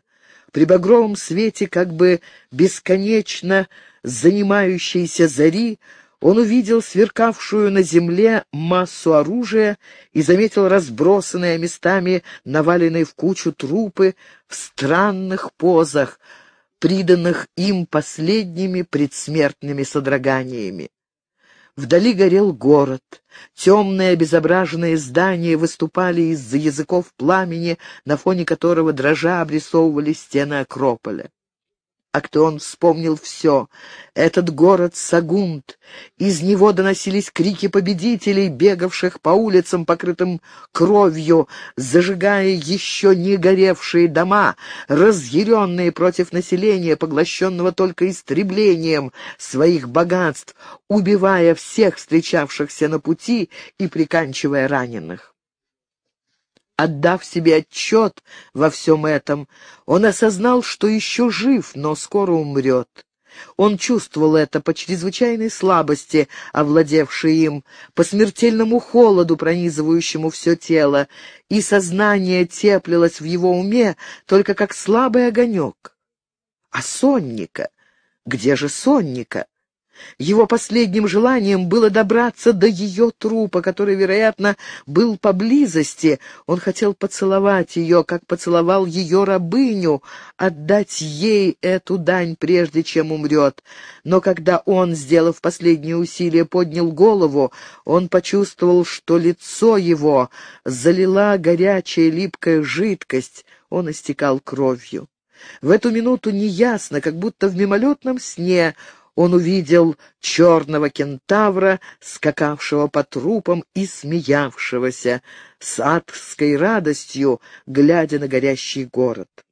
Кентавр проскакал мимо Актеона, копыта его коня ушли в тело кельтиберийца, лежавшего на груди грека, и при свете пожара последнему показалось, что он узнает всадника. То был Ганнибал. Без шлема на голове, весь охваченный торжеством победы, он скакал на черном, как ночь, коне, казалось, разделявшим ярость своего всадника, топтавшим, попиравшим трупы и развивающим своим хвостом по полю остатки битвы.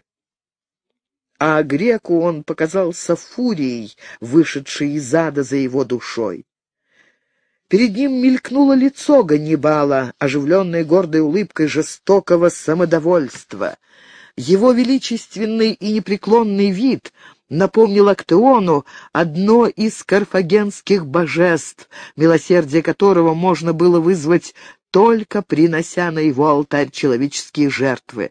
Ганнибал смеялся, ликуя, что, наконец, этот город, под стенами которого он простоял восемь месяцев, в его руках, теперь уже ничто не помешает развитию его смелых планов.